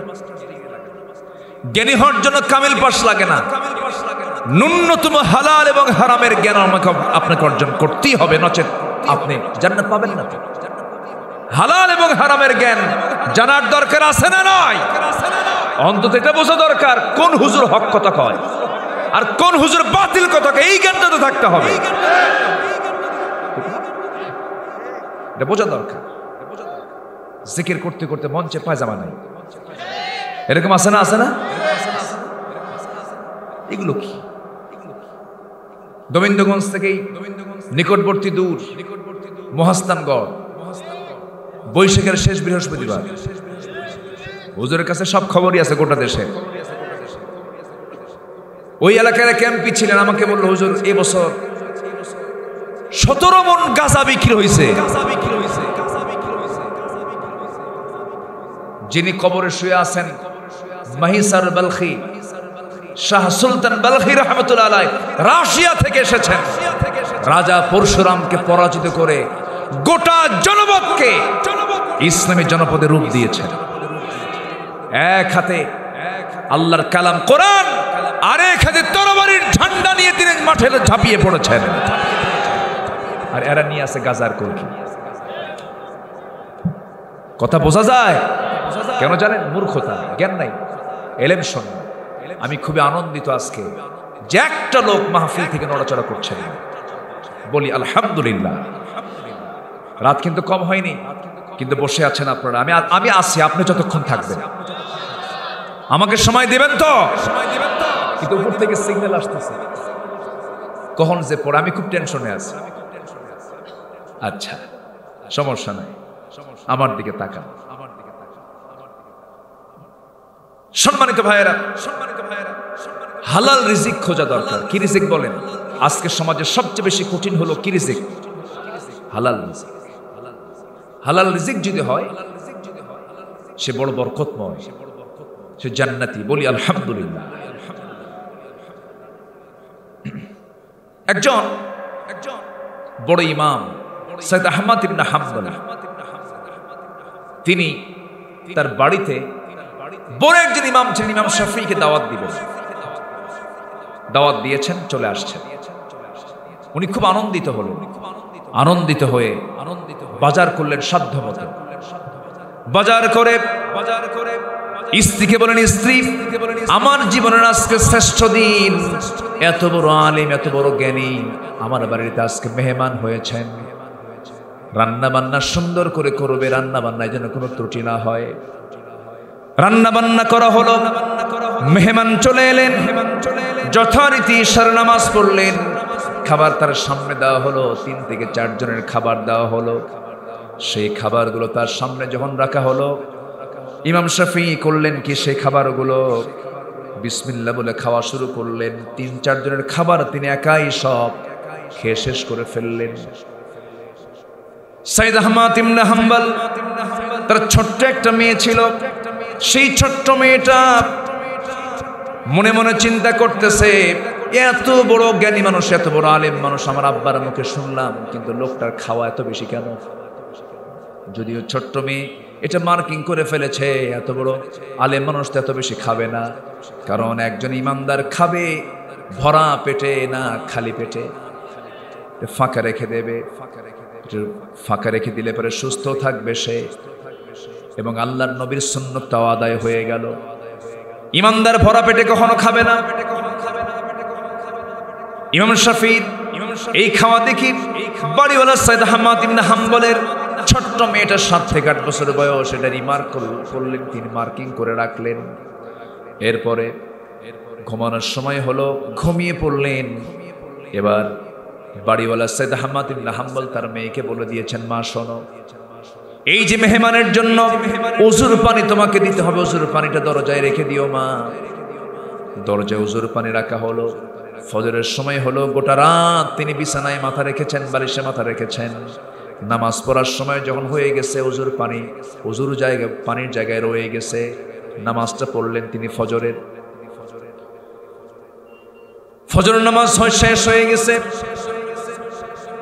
এরপরে সকালবেলা ওই মেহমান বাড়ি থেকে বের হয়ে যাবেন। ছোট্ট মেয়েটা তার বাপকে লক্ষ্য করে বলছে, বাবা, তোমার মুখে শুনেছি লোকটা নাকি বড় বুজুর্গ, বড় নাকি জ্ঞানী মানুষ। বড় আল্লাহওয়ালা মানুষ, বড় আলেম মানুষ। কিন্তু তার মধ্যে কিছু বদগুণ দেখতে পেলাম, কি মা বলো? মেয়েটা বলছে, আব্বা, আপনার মুখে শুনেছি উনি বড় আলেম মানুষ, বড় জ্ঞানী মানুষ। ইমাম ইমাম সৈদ হামাদ ইবনা হাম্বল মেয়ের বাপটা বলছে, মা, এমন করে আলেমদের দোষ ধরতে নেই। কি হয়েছে বলো তো? কি হয়েছে বলো তো? কি হয়েছে আম্মা রান্না বান্না করেছেন তিন থেকে চারজন মানুষের। সেই তিন থেকে চারজন মানুষের খাবারটা তিনি একাই খেয়ে ফেললেন, লুটপাট করে খেলেন, এমন খাওয়া তো কোনো ইমানদার খায় না। আর কি অপরাধ করেছে বলো, কি ভুল ধরেছো তুমি? গোটা রাত চলে গেল। কোন রাত দেখলাম না আপনি আব্বা তাহাজ ছাড়া থাকেন, কিন্তু লোকটা সারা রাত ধরে ঘুম পারল যে ঘুম পারল পারল ফজর নামাজটা পড়ল, কিন্তু অজুর পানে অজুর জায়গায় আছে। অজু সারা নামাজ পড়ল। আমি তাকে বলতে যাব আমি তাকে বলতে যাব, মেয়ের আব্বা বলতেছেন সৈয়দ আহমদ ইবনে হাম্বল বলছেন, মা, মেহমানের ভুল ধরতেন এমন করে বলতে নেই, যেও না, মা। তুমি বুঝতে পারবে না, হয়তো তার কোনো ভুল নাই এটা। তুমি তো অনুমান করছ, আন্দাজ করছ। মেয়েটা করল কি বাবার চোখ খড়াল করে? ছোট্ট মেয়েটা মেহমানের ঘরের মধ্যে ঢুকে গেছে। মেহমানের ঘরের মধ্যে ঢুকে বলছে, আপনি বড় আলেম মানুষ, কিন্তু আমি আপনার মধ্যে তিনটা বড় বড় ভুল খুঁজে পেয়েছি। তিনটা বড় বড় ভুল খুঁজে পেয়েছি। সঙ্গে সঙ্গে ইমাম শাফি বলছে, মা, আমার তিনটা ভুল তুমি কি কি পেয়েছ বলো তো? কেন মানুষ, রাগী হয় না বিনয়ী হয়? রাগী হয় না বিনয়ী হয়? বিনয়ী হয়। দোষ ধরতে গিয়ে যখন বলে ফেলতেছে, আপনি তিনটা ভুল করেছেন। তিনি বলছেন, কি কি ভুলা? বলো মা, আমি সংশোধন করে নেব। নাম্বার ওয়ান ইমানদার খাবে, খালি পেটে কম খাবে। তিন চারজনের খাবার আপনি সব লুটপাট করে খেলেন কেন? নাম্বার দুই হলো নাম্বার দুই হলো আমার আব্বাকে আমি দেখেছি, গোটা রাত ধরে তাহাজ্জুদ নামাজ পড়েন, কিন্তু গোটা রাত চলে গেল, আপনি তাহাজ্জুদ পড়লেন না। বালিশে মাথা রেখে ঘুমালেন আচ্ছা ঘুমালেন, ভালো কথা, ফজর নামাজ পড়তে উঠলেন, ওজুর পানি, ওজুর পানির জায়গায় রয়ে গেছে, ওজু ছাড়া নামাজ পড়লেন, এটা কত বড় অন্যায় কাজ, এটা তো ঠিক হলো না। এই তিনটি ভুলের, এই তিনটি ভুলের জবাব না দেওয়া পর্যন্ত আমি আপনাকে বাড়ি থেকে, বাড়ি ছেড়ে যেতে দেব না। ছোট্ট মেয়েটার কথা শুনে ইমাম শাফি মুসকি মুসকি হাসি মেরে বলছে, মা, আমিও তোমাকে তিনটি প্রশ্নের জবাব ছাড়া আমি বাড়ি থেকে বের হব না। কি কথা, কি বিরক্ত লাগতেছে নাকি আপনাদের? ইমাম শাফির ইমাম সামনে যখন প্রশ্ন উত্থাপন করা হলো, ছোট্ট মেয়েটার কথা শুনে ইমাম শাফি আশ্চর্য হয়ে গেছেন, ছোট্ট মেয়ে দিনের পরিবেশ পেলে পরে বাড়িতে দিনের পরিবেশ থাকলে এমনটাই তো হওয়ার কথা। ছোট্ট মেয়েটার কথা শোনা মেয়েটাকে পাশে বসায় বলছে, মা, এক নম্বরের জবাব হলো, তোমার মার হাতের রান্না যখন আমার সামনে হাজির হয়েছে, তোমার বাবার তোমার বৈধ টাকার বাজার যখন রান্না বান্না করে আমার সামনে হাজির হয়েছে, আমার কাছে মনে হলো, এই সমস্ত খাবারের উপরে নূর চমকাচ্ছিল, মনে হচ্ছে আমি বেহেস্তি খাবারটা খাচ্ছি। হালাল খাবারটাকে আমার কাছে ওষুধের মতো মনে হলো, মনে করে এ সমস্ত খাবারকে আমি খাবার না মনে করে মেডিসিন মনে করে সব আমি খেয়ে নিয়েছি। যেরকম সুবহান আল্লাহ আর যেরকম সুবহান আল্লাহ হালাল খাবার হলো ঔষধ, হালাল খাবার কি? ঔষধ। নাম্বার দুই হলো নাম্বার দুই হলো ও মা তুমি হয়তো দেখেছ আমি বিছানায় শুয়ে পড়েছি বালিশে মাথা রেখেছি, চোখটা বন্ধ করেছি, কিন্তু আল্লাহর কসম করে বলি, মা গোটা রাত চলে গেছে, চুলের পরিমাণ আমি কোনো ঘুমাই নাই। তাহলে কি করছেন আপনি? আমি দুই, তিনটা হাদিসকে সামনে নিয়েছি, আমাকে অনেকে প্রশ্ন করে, সেই প্রশ্নের জবাবগুলো আমি রেডি করেছি। এই মাসালাগুলোর জবাব দেওয়ার জন্য গোটা রাত ধরে ধরে ফিকির করতে করতে, চিন্তা করতে করতে ফজর আজান হয়ে গেছে, ঘুম আর আসে নাই। আমার আর ঘুম না থাকার, না আসার কারণে আমার অজু আমার নষ্ট হয় না, শীতের রাত মা।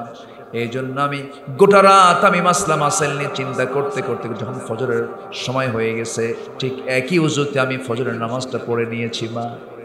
সঙ্গে সঙ্গে ছোট্ট মেয়েটা মুসকি হাসি মেরে বলছেন না, বুঝতে ভুল করেছি, বুঝতে ভুল করেছে, আমাকে মাফ করে দিয়েন। ইমাম শাফি বলছে, মা, ও মা, তোমার যে বিচক্ষণমূলক প্রশ্ন, এটার জন্য আল্লাহ তোমাকে উত্তম পুরস্কার দিন উত্তম পুরস্কার আপনাকে দান করুন, তোমাকে দান করুন। এখান থেকে একটা বিষয় স্পষ্ট হয়ে গেল। জ্ঞানীদের দোষ ধরতে গেলেও চিন্তা করার দরকার আছে না নাই? আলেমদের দোষ ধরতে গেলে এলমি যোগ্যতা লাগে, ডাক্তারের দোষ ধরতে গেলে ডাক্তারের বিদ্যা লাগে, ইঞ্জিনিয়ারের দোষ ধরতে গেলে ইঞ্জিনিয়ারের যোগ্যতা লাগে। কিন্তু আজকে দুঃখজনক হলো সত্য, আমার দেশে আজকে একজন আলেমের ভুল ধরে নাস্তিকের বাচ্চারা। আছে না নয় আমার বন্ধুগণ আমার বন্ধুগণ আমার বন্ধুগণ, আমার বাপ জ্ঞানী ছিলেন, আমার আব্বা আদম জ্ঞানী ছিলেন, আমাকেও জ্ঞানী হতে হবে। জ্ঞানীর সন্তান জ্ঞানী হবে। জ্ঞানের সন্তান কি হবে? জ্ঞানী হলো শক্তি। জ্ঞান কি? নলেজ ইজ পাওয়ার জ্ঞান কি বলেন? শক্তি। জ্ঞান যদি অর্জন হয়, পৃথিবীর কোন শক্তি তাকে পরাজিত করতে পারবে না। সেটা কিসের জ্ঞান বলো? বলেন, কিসের জ্ঞান? জ্ঞান তো দেখলে আমি অনেক জ্ঞানী তো আছে। লুটপাট করে সব শেষ। লুটপাট করে সব শেষ। আমার বন্ধুগণ আমার বন্ধুগণ দুইটা গুণ আমরা শিখে যাব। দুইটা কাজ আমরা শিখে যাব। আল্লাহর দফতর থেকে আমরা সার্টিফিকেট নিয়ে নেব। নাম্বার ওয়ান অর্ধেক বলে ফেলেছি আমরা ইমান আনব। কার উপরে বলেন? আসতে বলবেন না, কার উপরে? আল্লাহর পরে ইমান আনলে পরে আল্লাহর প্রতি মোহাব্বত থাকার দরকার আছে না নাই? কম না বেশি, কম না বেশি বেশি। আল্লাহ বলছেন, বান্দারে, তুই চুরি করিস, তুই ডাকাতি করিস, তুই জেনা করিস, তুই মিথ্যা কথা বলিস, তুই জেনা করিস। যত বরকর অপকর্ম তুই করবি না কেন বান্দা?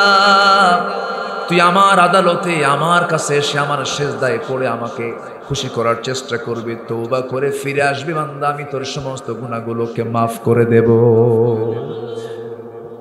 বান্দা যখন হেঁটে আসে, হেঁটে হেঁটে আল্লাহর দিকে যায়, আল্লাহ তার দিকে দৌড়া দৌড়ায় যান।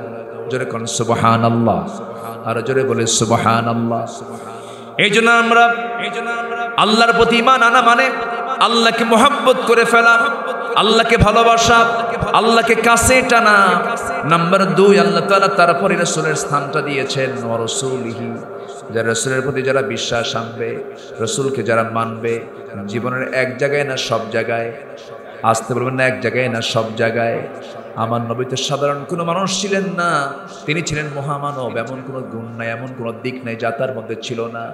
রসুলকে বিশ্বাস করা মানে রসুলের সমস্ত আচার আচরণ, সমস্ত চরিত্র আমার জীবনে বাস্তবায়ন করা। নবজি কেমন করে কথা বলেছেন? নবজি কেমন করে কাজকর্ম করেছেন? নবজি কেমন করে স্ত্রীদেরকে লালন পালন করেছেন?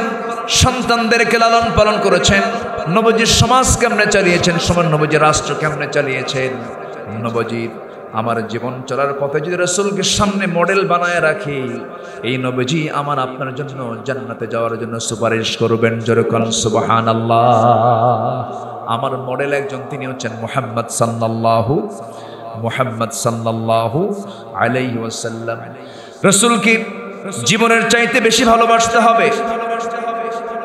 ইমান আনা মানে রসুলকে সব জায়গায় মেনে নেওয়া।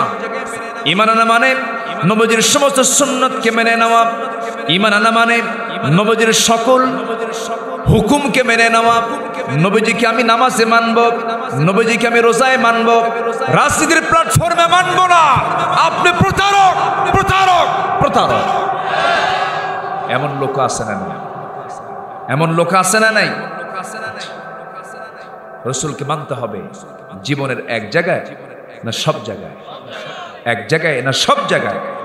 সব আমার নবীর মর্যাদা কত? আমার নবীর যখন জন্ম হয় নাই, পৃথিবীতে আসেন নাই, তিনি কার পেটে ছিলেন? বলেন, তার মার নাম কি? আমেনা। মা আমেনার পেটে ছিলেন। মা বলেন, মুহাম্মদ যখন আমার গর্ভে আসলো, আমার শরীর থেকে এক্সট্রা করে সুগন্ধি বের হতো। যেরকম সুবহান আল্লাহ তার শাশুড়ি তাকে বললেন, আবে না। মেয়েদের শরীরে এরকম পারফিউম ব্যবহার করে বাইরে যাওয়া ঠিক না। তিনি বলেন মা, আমি কোনো পারফিউম ব্যবহার করি না। না জানি আমার এই সন্তানটা পেটে আসার পর থেকে আমার শরীর থেকে নতুন সুঘ্রাণ বের হলো। বিশ্বনবী আল্লাহ তালা তার সম্মান কত দিয়েছে মামেনা বলেন মামেনা বলেন, আমার শিশু মোহাম্মদ কি পেটে ধারণ করে যখন আমি কূপের কাছে যখন কূপ থেকে পানি তুলতে যেতাম, যখন আমি যেতাম, সেই সময় ওই কূপ থেকে পানি তুলতে নিয়ে দড়ি লাগতো না। আমি শুধু বালতি নামায়া দিতাম, দেখতাম কূপের মুখে এসে সমস্ত পানিগুলো জমা হয়ে যেত যেরকম সুবহান সব মেয়েরা বলতো আমি না সবার আগে তুমি কূপের পানি আনতে আসবে। কূপের পানি তুলতে আসবে, তোমার মাধ্যমে আমরা দেখতে পাই, কূপের পানি তুলতে কোনো কষ্ট হয় না। আমার নবজির মর্যাদা কত? আমার নবজির যখন জন্ম হলো, জন্মের দু তিন, দু থেকে তিন দিন পরে আবু তালেব একদিন স্মৃতিচারণ করতে নিয়ে বলছেন রে, তোমার একটা কথা আমার মনে হচ্ছে। কি চাচা আপনি বলেন? আবু তালেব ইমানদার না কাফের? এই আবু তালেব বলেন, ইমানদার না কাফের? কাফের, কিন্তু ভদ্র কাফের। কি কাফের কথা তো? ভদ্র কাফের। মানে বেয়াদব ছিল না। কিছু লোক আছে না? কিছু লোক কিন্তু অনেক হিন্দু ভাইরা আছে। শুধু হিন্দু শুধু হিন্দু কিন্তু চরিত্র অনেক সুন্দর। আছে না আছে না আছে না আছে না? মিথ্যা কথা বলে না। ওজনে কম দেয় না। লেনদেন ভালো রাখে। তামান নবজির একজন চাচা ছিলেন আবু তালেব। নবজি তার কাছ থেকে ভাষা শিখেছেন। নবজি তার কাছ থেকে ব্যবসা শিখেছেন। নবজি তার মাধ্যমে বিয়ে করেছে আবু তাল সে আবু তালে বলছে, মোহাম্মদ আমি তোমার একটা স্মৃতিচারণ করতে চাই। কি স্মৃতিচারণ? আবু তালেব বলতেছে, মোহাম্মদ, শোনো। তোমার যখন জন্ম হলো, তোমার বাপ তো ছয় মাস আগে দুনিয়া থেকে বিদায় নিয়েছে। কিন্তু তোমার মা তোমাকে যখন ভূমিষ্ঠ করল, তুমি যখন মার পেট থেকে বের হয়ে আসলে দুনিয়াতে, তোমার মার কান্না থামে না, তোমার মার কান্না থামে না। দুই রাত, তিন রাতের মাথায় আমি নিজে তোমাকে দেখার জন্য ঘরের মধ্যে ঢুকলাম। ঘরের মধ্যে ঢুকে দেখি তুমি নাই। তোমাকে উঠানে রেখে দিয়েছে। তোমার মা উঠানে রেখে দিয়ে তোমার কাছে নাই। তোমার মা আশেপাশে যায় আর হাওমাও করে কান্দে। স্বামীর কথা মনে হয়ে যায়। কিন্তু আমি তোমাকে ওই অবস্থায় দেখতে পেলাম এক রাত্রে। ও মোহাম্মদ, শোনো, যখন তুমি তোমার ডান হাতটা যখন আস্তে করে নিচের দিকে টান মারতেছিলা, যখন বাম হাতটা যখন ডান দিকে নিচ্ছিলা তোমার হাতটা তুমি ডান দিকে নাও, চাঁদ ডান দিকে চলে যায়, তোমার হাতটা তুমি বাম দিকে নাও, বাম দিকে চলে যায়, দুই হাতটা নিয়ে যখন নিচের দিকে চলে আসো, চারটা নিচের দিকে চলে আসে, চাঁদ তোমার হাতের সঙ্গে দোল দোল খাচ্ছিল, নাচতেছিল, এটা কি সঠিক নাকি? রসুল বলছেন, চাচা, আপনি যা দেখেছেন সম্পূর্ণ সত্যই দেখেছেন, কারণ জন্মের পূর্বের স্বামীকে হারিয়েছে আমার মা। আমি আমার মা, আমি আমার মা এই দুনিয়াতে সন্তান জন্ম নিলে পরে সবচেয়ে বেশি খুশি হয় বাবা। কিন্তু বাবা আমার দেখার কেসমতে জোটে নাই। আমার মা যখন আমাকে ভূমিষ্ঠ করেছেন, বারবার স্বামীর কথা মনে হয়ে যায় হাওমা করে কান্দে। আমাকে দেখলে পরে কান্নার পরিমাণ বেড়ে যায়, আমার কাছে উনি থাকতে পারছিলেন না।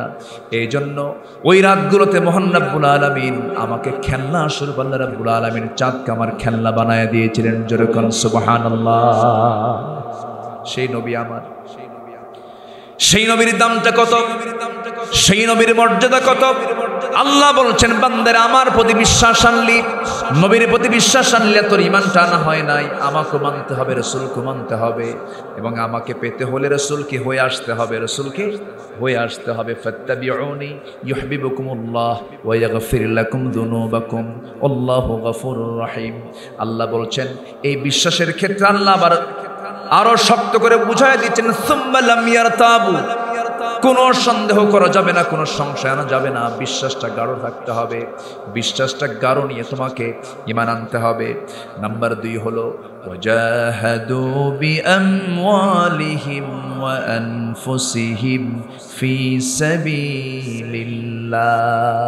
এবং জিহাদ করতে হবে জান এবং মাল দিয়া। কার পথে? আসতে বলবেন না কার পথে? জান মাল দিয়ে আল্লাহর পথে জিহাদ করতে পারে মোনাফেকেরা না ইমানদারেরা মোনাফেকরা না ইমানদারেরা মোনাফেকরা কিন্তু নামাজ পড়তে পারে। মোনাফেকরা দান সদকা করতে পারে। মোনাফেকরা রোজাও রাখতে পারে। মোনাফেকরা আনুষ্ঠানিক এবাদতগুলো করতে তাদের কোনো সমস্যা নাই, কিন্তু মোনাফেককে চেনা যায় নামাজে নয় মোনাফেককে চেনা যায় হলো মাঠে, ময়দানে, জিহাদের প্রান্তরে। কারণ মোনাফেকরা নামাজ পড়বে কিন্তু আল্লাহর পথে জান দেবে না। ওরা বলবে যত লোক লাগে দেব প্রয়োজনে যত রক্ত লাগে দেব যত রক্ত লাগে দেব যত রক্ত লাগে দেব প্রয়োজনে লোক পাঠাবো মাগার আমি যাব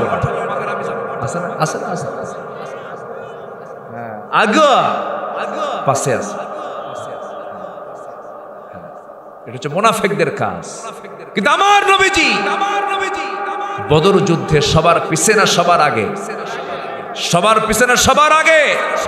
ওহুদের প্রান্ত রসুল সবার পিছনে সবার আগে। সবচেয়ে বেশি রক্তাক্ত হয়েছেন মোহাম্মদ সাল্লাল্লাহু ওহুদের ময়দানে। এমন রক্তাক্ত হলেন নবীজির মানে নবীজি হলেন সবার টার্গেটে মূল ব্যক্তি হচ্ছেন রসুল। মূল লক্ষ্য হচ্ছে তারা রসুলকে কেমনে দুনিয়া থেকে বিদায় করবে। মূল প্ল্যান বদলে মার খাইছে। বদরে বদরে কোরাইশরা নাস্তানাবুদ হয়ে গেছে। এক বছর যেতে না যেতে ওহুদ যুদ্ধের ময়দানে কাট্টা কাট্টা কাফেররা সব চলে আসলো। আমার নবীজির শিশু ইসলাম যুদ্ধ কেবল শেষ, আবার ওহুদের যুদ্ধ শুরু হয়ে গেছে। নবীজি বললেন, সাহাবিরা, শুনলাম কোরাইশরা উহুদের প্রান্তরে এসে হাজির হয়েছে। কে কে যাবে? সব এক জায়গায় করলেন। রাস্তার ঠিক মাঝখান বরাবর এসে মোনাফেকরা বলল, আপনি আমাদেরকে কোথায় নিয়ে যাচ্ছেন? কহুদের প্রান্তরে যুদ্ধ করতে হবে। আনফুসিহিম ফি মুনাফিকরা বলে, যাদের সঙ্গে আমরা যুদ্ধ করতে যাচ্ছি, যাদের বিরুদ্ধে ওদের সৈন্য সংখ্যা কত? কে তিন হাজার, আমাদের কত? এক হাজার। এই অসম যুদ্ধে আমরা যাব না। মোনাফিকরা বলল, রসুল বললেন, যারা যাবে না, তারা সাইড হয়ে যাও। কি হয়ে যাও? সাইড হয়ে যাও মোনাফেকরা চিহ্নিত হলো, তিনশো জন কা, তিনশো জন মোনাফেক নাই সেদিন। হাজারে, তিনশো নাই আউট হয়ে গেছে। আমার নবীজি বলেন, কেউ যদি নাও যাও, আমি নিজে একা যাব। জোরে বলেন সুবহান আল্লাহ অনলাইনে যুদ্ধ হয়। অনলাইনে ভিডিও কল দিয়া যুদ্ধ করা যায় না। আমার নবীজি সরাসরি ব্যাটেল ফিল্ডে নামলেন। নবজির মাথায় সেদিন পাগড়ি, টুপি না হেলমেট? লোহার হেলমেট পরেছেন। নবজির গায়ে সেদিন যুদ্ধের পোশাক। নবজির হাতে তরবারি, বর্ষা। ঘোড়ার পিঠে চড়েছেন মোহাম্মদুর রসুল্লাহ ওহদের প্রান্তরে গিয়ে পৌঁছলেন। সাহাবেকরামকে স্থান নির্ধারণ করে দিলেন। বিশেষ করে পঞ্চাশ জন তীরন্দাজকে ডাক দিয়ে বলেন, তোমরা তীর ধনুক এখানে দাঁড়াও। এই জায়গায় তোমাদের বসে থাকা দায়িত্ব, দাঁড়িয়ে থাকা দায়িত্ব, এখান থেকে নড়বে না। আমার পরবর্তী হুকুম না আসা পর্যন্ত। কিন্তু যুদ্ধ শুরু হয়ে গেছে, যুদ্ধ থেমেও গেছে, মুসলমানদের বিজয় প্রায় হয়ে গেছে। এই সাহাবি পঞ্চাশ জন নবজির অনুমতি ছাড়াই স্থান ত্যাগ করেছে ইতিমধ্যে এক চিকন গলি পথ দিয়ে ওহুদের প্রান্তরের ভিতরের দিকে ঢুকে পড়ছে। অতর্কিত হামলা চালিয়েছে কোরাইশা সে অতর্কিত হামলার শিকার হলেন মোহাম্মদুর রসুল্লাহ সাল্লাহ সাল্লাম। তিনি শিকার হয়ে পড়লেন। তার, তাদের মূল লক্ষ্য ছিল রসুলকে মেরে ফেললেই সব শেষ হয়ে যাবে। তীর মারা শুরু হলো। প্রথমে তীর মারতে লাগল। সাহাবে কেরাম টের পেলেন। সাহাবে কেরাম কি? রসুল দেখতে পেলেন সব দৌড়ে দৌড়ে নবীর দিকে আসে, হাতে তো রবারই নাই, অপ্রস্তুত অবস্থায় ছিলেন তারা। নবীদের চতুর্পাশে দাঁড়িয়ে বলছেন, হুজুর, যত তীর লাগবে আমাদের গায়ে লাগবে, আপনার গায়ে লাগাতে দেব না। কি মোহাম্মত কি ভালোবাসা। কি ভালোবাসা রসুলকে বাঁচাতে গিয়া একজন নয়, দুজন নয়, দশজন সাহাবি সেখানে এট এ টাইম শাহাদত বরণ করলেন। নবজির চোখের সামনে দশজন সাহাবির লাশ পড়ে থাকল। আমার নবজি টার্গেটের মূল লক্ষ্যে পড়ে, মূল লক্ষ্যে পড়ে গেছেন কাফেরদের। কাছাকাছি চলে এসেছে, তীর মারা বন্ধ করে এবার হাতের মধ্যে পাথর নিয়েছে। বড় পাথর হাতের মধ্যে নিয়াম নবজির কপাল বরাবর মেরে দিয়েছে হেলমেটের চিকন লোহা। হেলমেটের চিকন ফলা, লোহার ফলাটা চট করে গিয়ে কপালের লোহা, কপালের হাড়ের মধ্যে শক্ত করে গেথে গেছে। আরেকটা আঘাত আরেকটা আঘাত, গাল বরাবর মেরে দিয়েছে পাথর, শিরস্ত্রণের চিকন লোহা। চিকন ফলা নবজির গালের মধ্যে ঢুকে গেছে। আর একজন কাফের মেরে দিয়েছে। দাঁত বরাবর দাঁত বরাবর মারার সঙ্গে সঙ্গে নবজির সামনের দুটো দাঁত ভেঙে পড়ে গেছে। কপালে লোহা বিদ্ধ হওয়া, গালে লোহা বিদ্ধ হওয়া, সামনের দুটো দাঁত ভেঙে পড়ে যাওয়া, একই মুখের ভিতরে তিনটা ইঞ্জুরি নবজির পাশে কেউ নাই। নবজি মুখ থুবড়ে পড়ে গেছে, নবজির পাশে কেউ নাই। চতুর্দিকে কাফের মর্শিকরা গুজব রটিয়ে দিয়েছে, কতিলা মোহাম্মদ মোহাম্মদ নিহত মোহাম্মদ নিহত। এই সংবাদ শুনে মদিনার একজন পাগলি সাহাবি যখন শুনতে পেয়েছেন রসুল নাই, চিৎকার করে করে নিজের আবেগটাকে ধরে রাখতে না পেরে বাইরে বের হয়ে এসেছেন এমন সময় একজন সাহাবি বলছে, ও মহিলা, তুমি কান্দো কেন? কি হয়েছে? আমার রসুল্লাহকে মারা গেছেন। কি তুমি কি জানো, তোমার বড় ভাই এই যুদ্ধে শাহাদত বরণ করেছেন। আমার ভাই মরে যাক, আমার কোনো দুঃখ নাই। কিছুক্ষণ পরে সে বলছে, ও মহিলা, কাঁদতেছ কেন? কি হয়েছে? শুনলাম রসুল্লাহকে ইন্তেকাল করেছেন। সঙ্গে সঙ্গে আরেকজন এসে বলছে, মহিলা, তুমি কি জানো, তোমার প্রাণ প্রিয় স্বামী এই যুদ্ধে শাহাদত বরণ করেছেন। তিনি বলছেন, স্বামী আমার চলে গেছে, দুঃখ নাই। ভাই আমার চলে গেছে, দুঃখ নাই। একটা বারের জন্য বলো তোমরা, আমার রসুল প্রাণে বেঁচে আছেন কিনা? আবার আরেকজন এসে বলে, ও মহিলা, তুমি কি জানো, তোমার কলেজার টুকরা সন্তানটাও মারা গেছে এই যুদ্ধের ময়দানে। সঙ্গে সঙ্গে মহিলা বলতেছি, সন্তান গেল, স্বামী গেল, বড় ভাই চলে গেছে, কোনো দুঃখ নাই। গোটা দুনিয়ার সব মানুষ মরে যাক, তাতেও কোনো দুঃখ নাই। কিন্তু একটা বারের জন্য বলো আমার রসুল প্রাণে বেঁচে আসেন কিনা? আমার রসুল বেঁচে আসেন কিনা? আমার নবজির এই মৃত্যুর সংবাদ গুজবটা চতুর্দিকে ছড়িয়ে পড়েছে। আমার নবজির নাই মনে করে ওমরে ফারুক পাগলের মতো হয়ে গেছেন। কিন্তু এইদিকে সাইদিন বিচক্ষণ সাহাবি, তিনি মনে মনে চিন্তা করছেন, না, রসুল মারা যেতে পারেন না। তন্ন তন্ন করে খুঁজতে খুঁজতে গিয়ে দেখেন ওহুদের ময়দানে একটা গর্তের মধ্যে নবজি উপুর হয়ে পড়ে আছেন। সেখান থেকে আস্তে করে তুলে সময় দেওয়া হলো। নবজির চেহারা দেখা যাচ্ছে না, চেনা যাচ্ছে না। রক্ত দিয়া দাড়ি লাল হয়ে গেছে। রক্ত দিয়া কপাল লাল হয়ে গেছে। নবজির চেহারা দেখা যায় না, মুখে রক্ত, কপালে রক্ত, গালে রক্ত। বিশ্ব নবীর বিশ্ব নবীর। কপালে রক্ত, গালে রক্ত, মুখে রক্ত। আমার নবজি মুখ থুপড়ে পড়ে আছেন সেই জায়গা থেকে।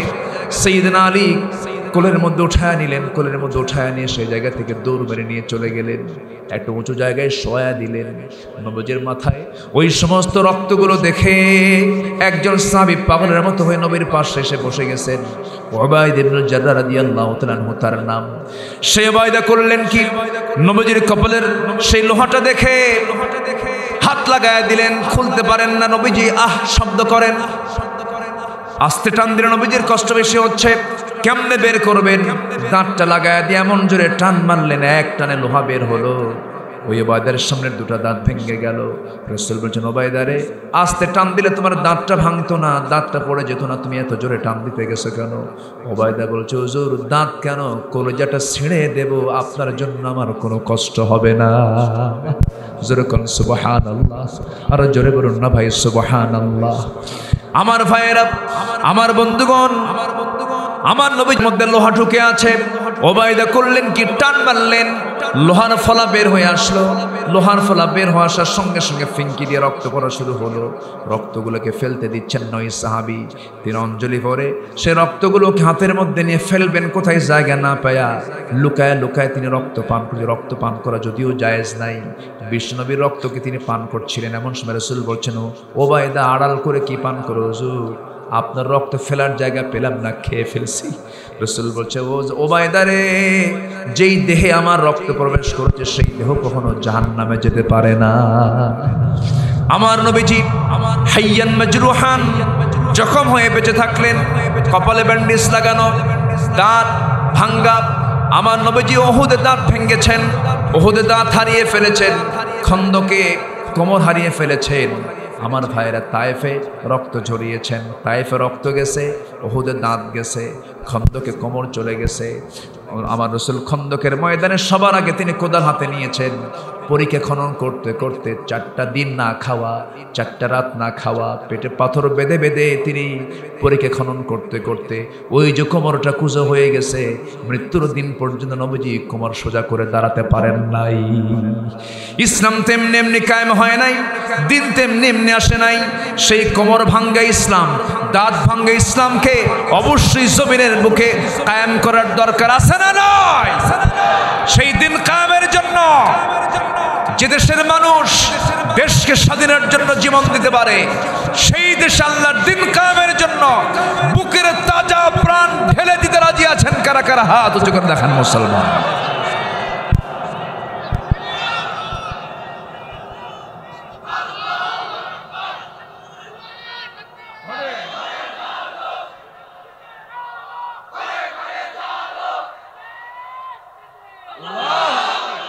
আল্লাহ কবুল করুন, জোরে বলি আমিন। আরও জোরে আমিন। যারা জিহাদ করবে এবং যারা ইমান ঠিক মতো আনবে ইমান এবং জিহাদ ফিসাবিল্লাহ এই দুটো কাজ যারা করবে, আল্লাহ নিজের সার্টিফিকেট দিচ্ছেন কোন এরা হচ্ছে সত্যবাদী। আমার দফতর থেকে তাদেরকে সার্টিফিকেট দেওয়া হবে, সত্যবাদী তার চারিত্রিক সনদ দেওয়া হবে।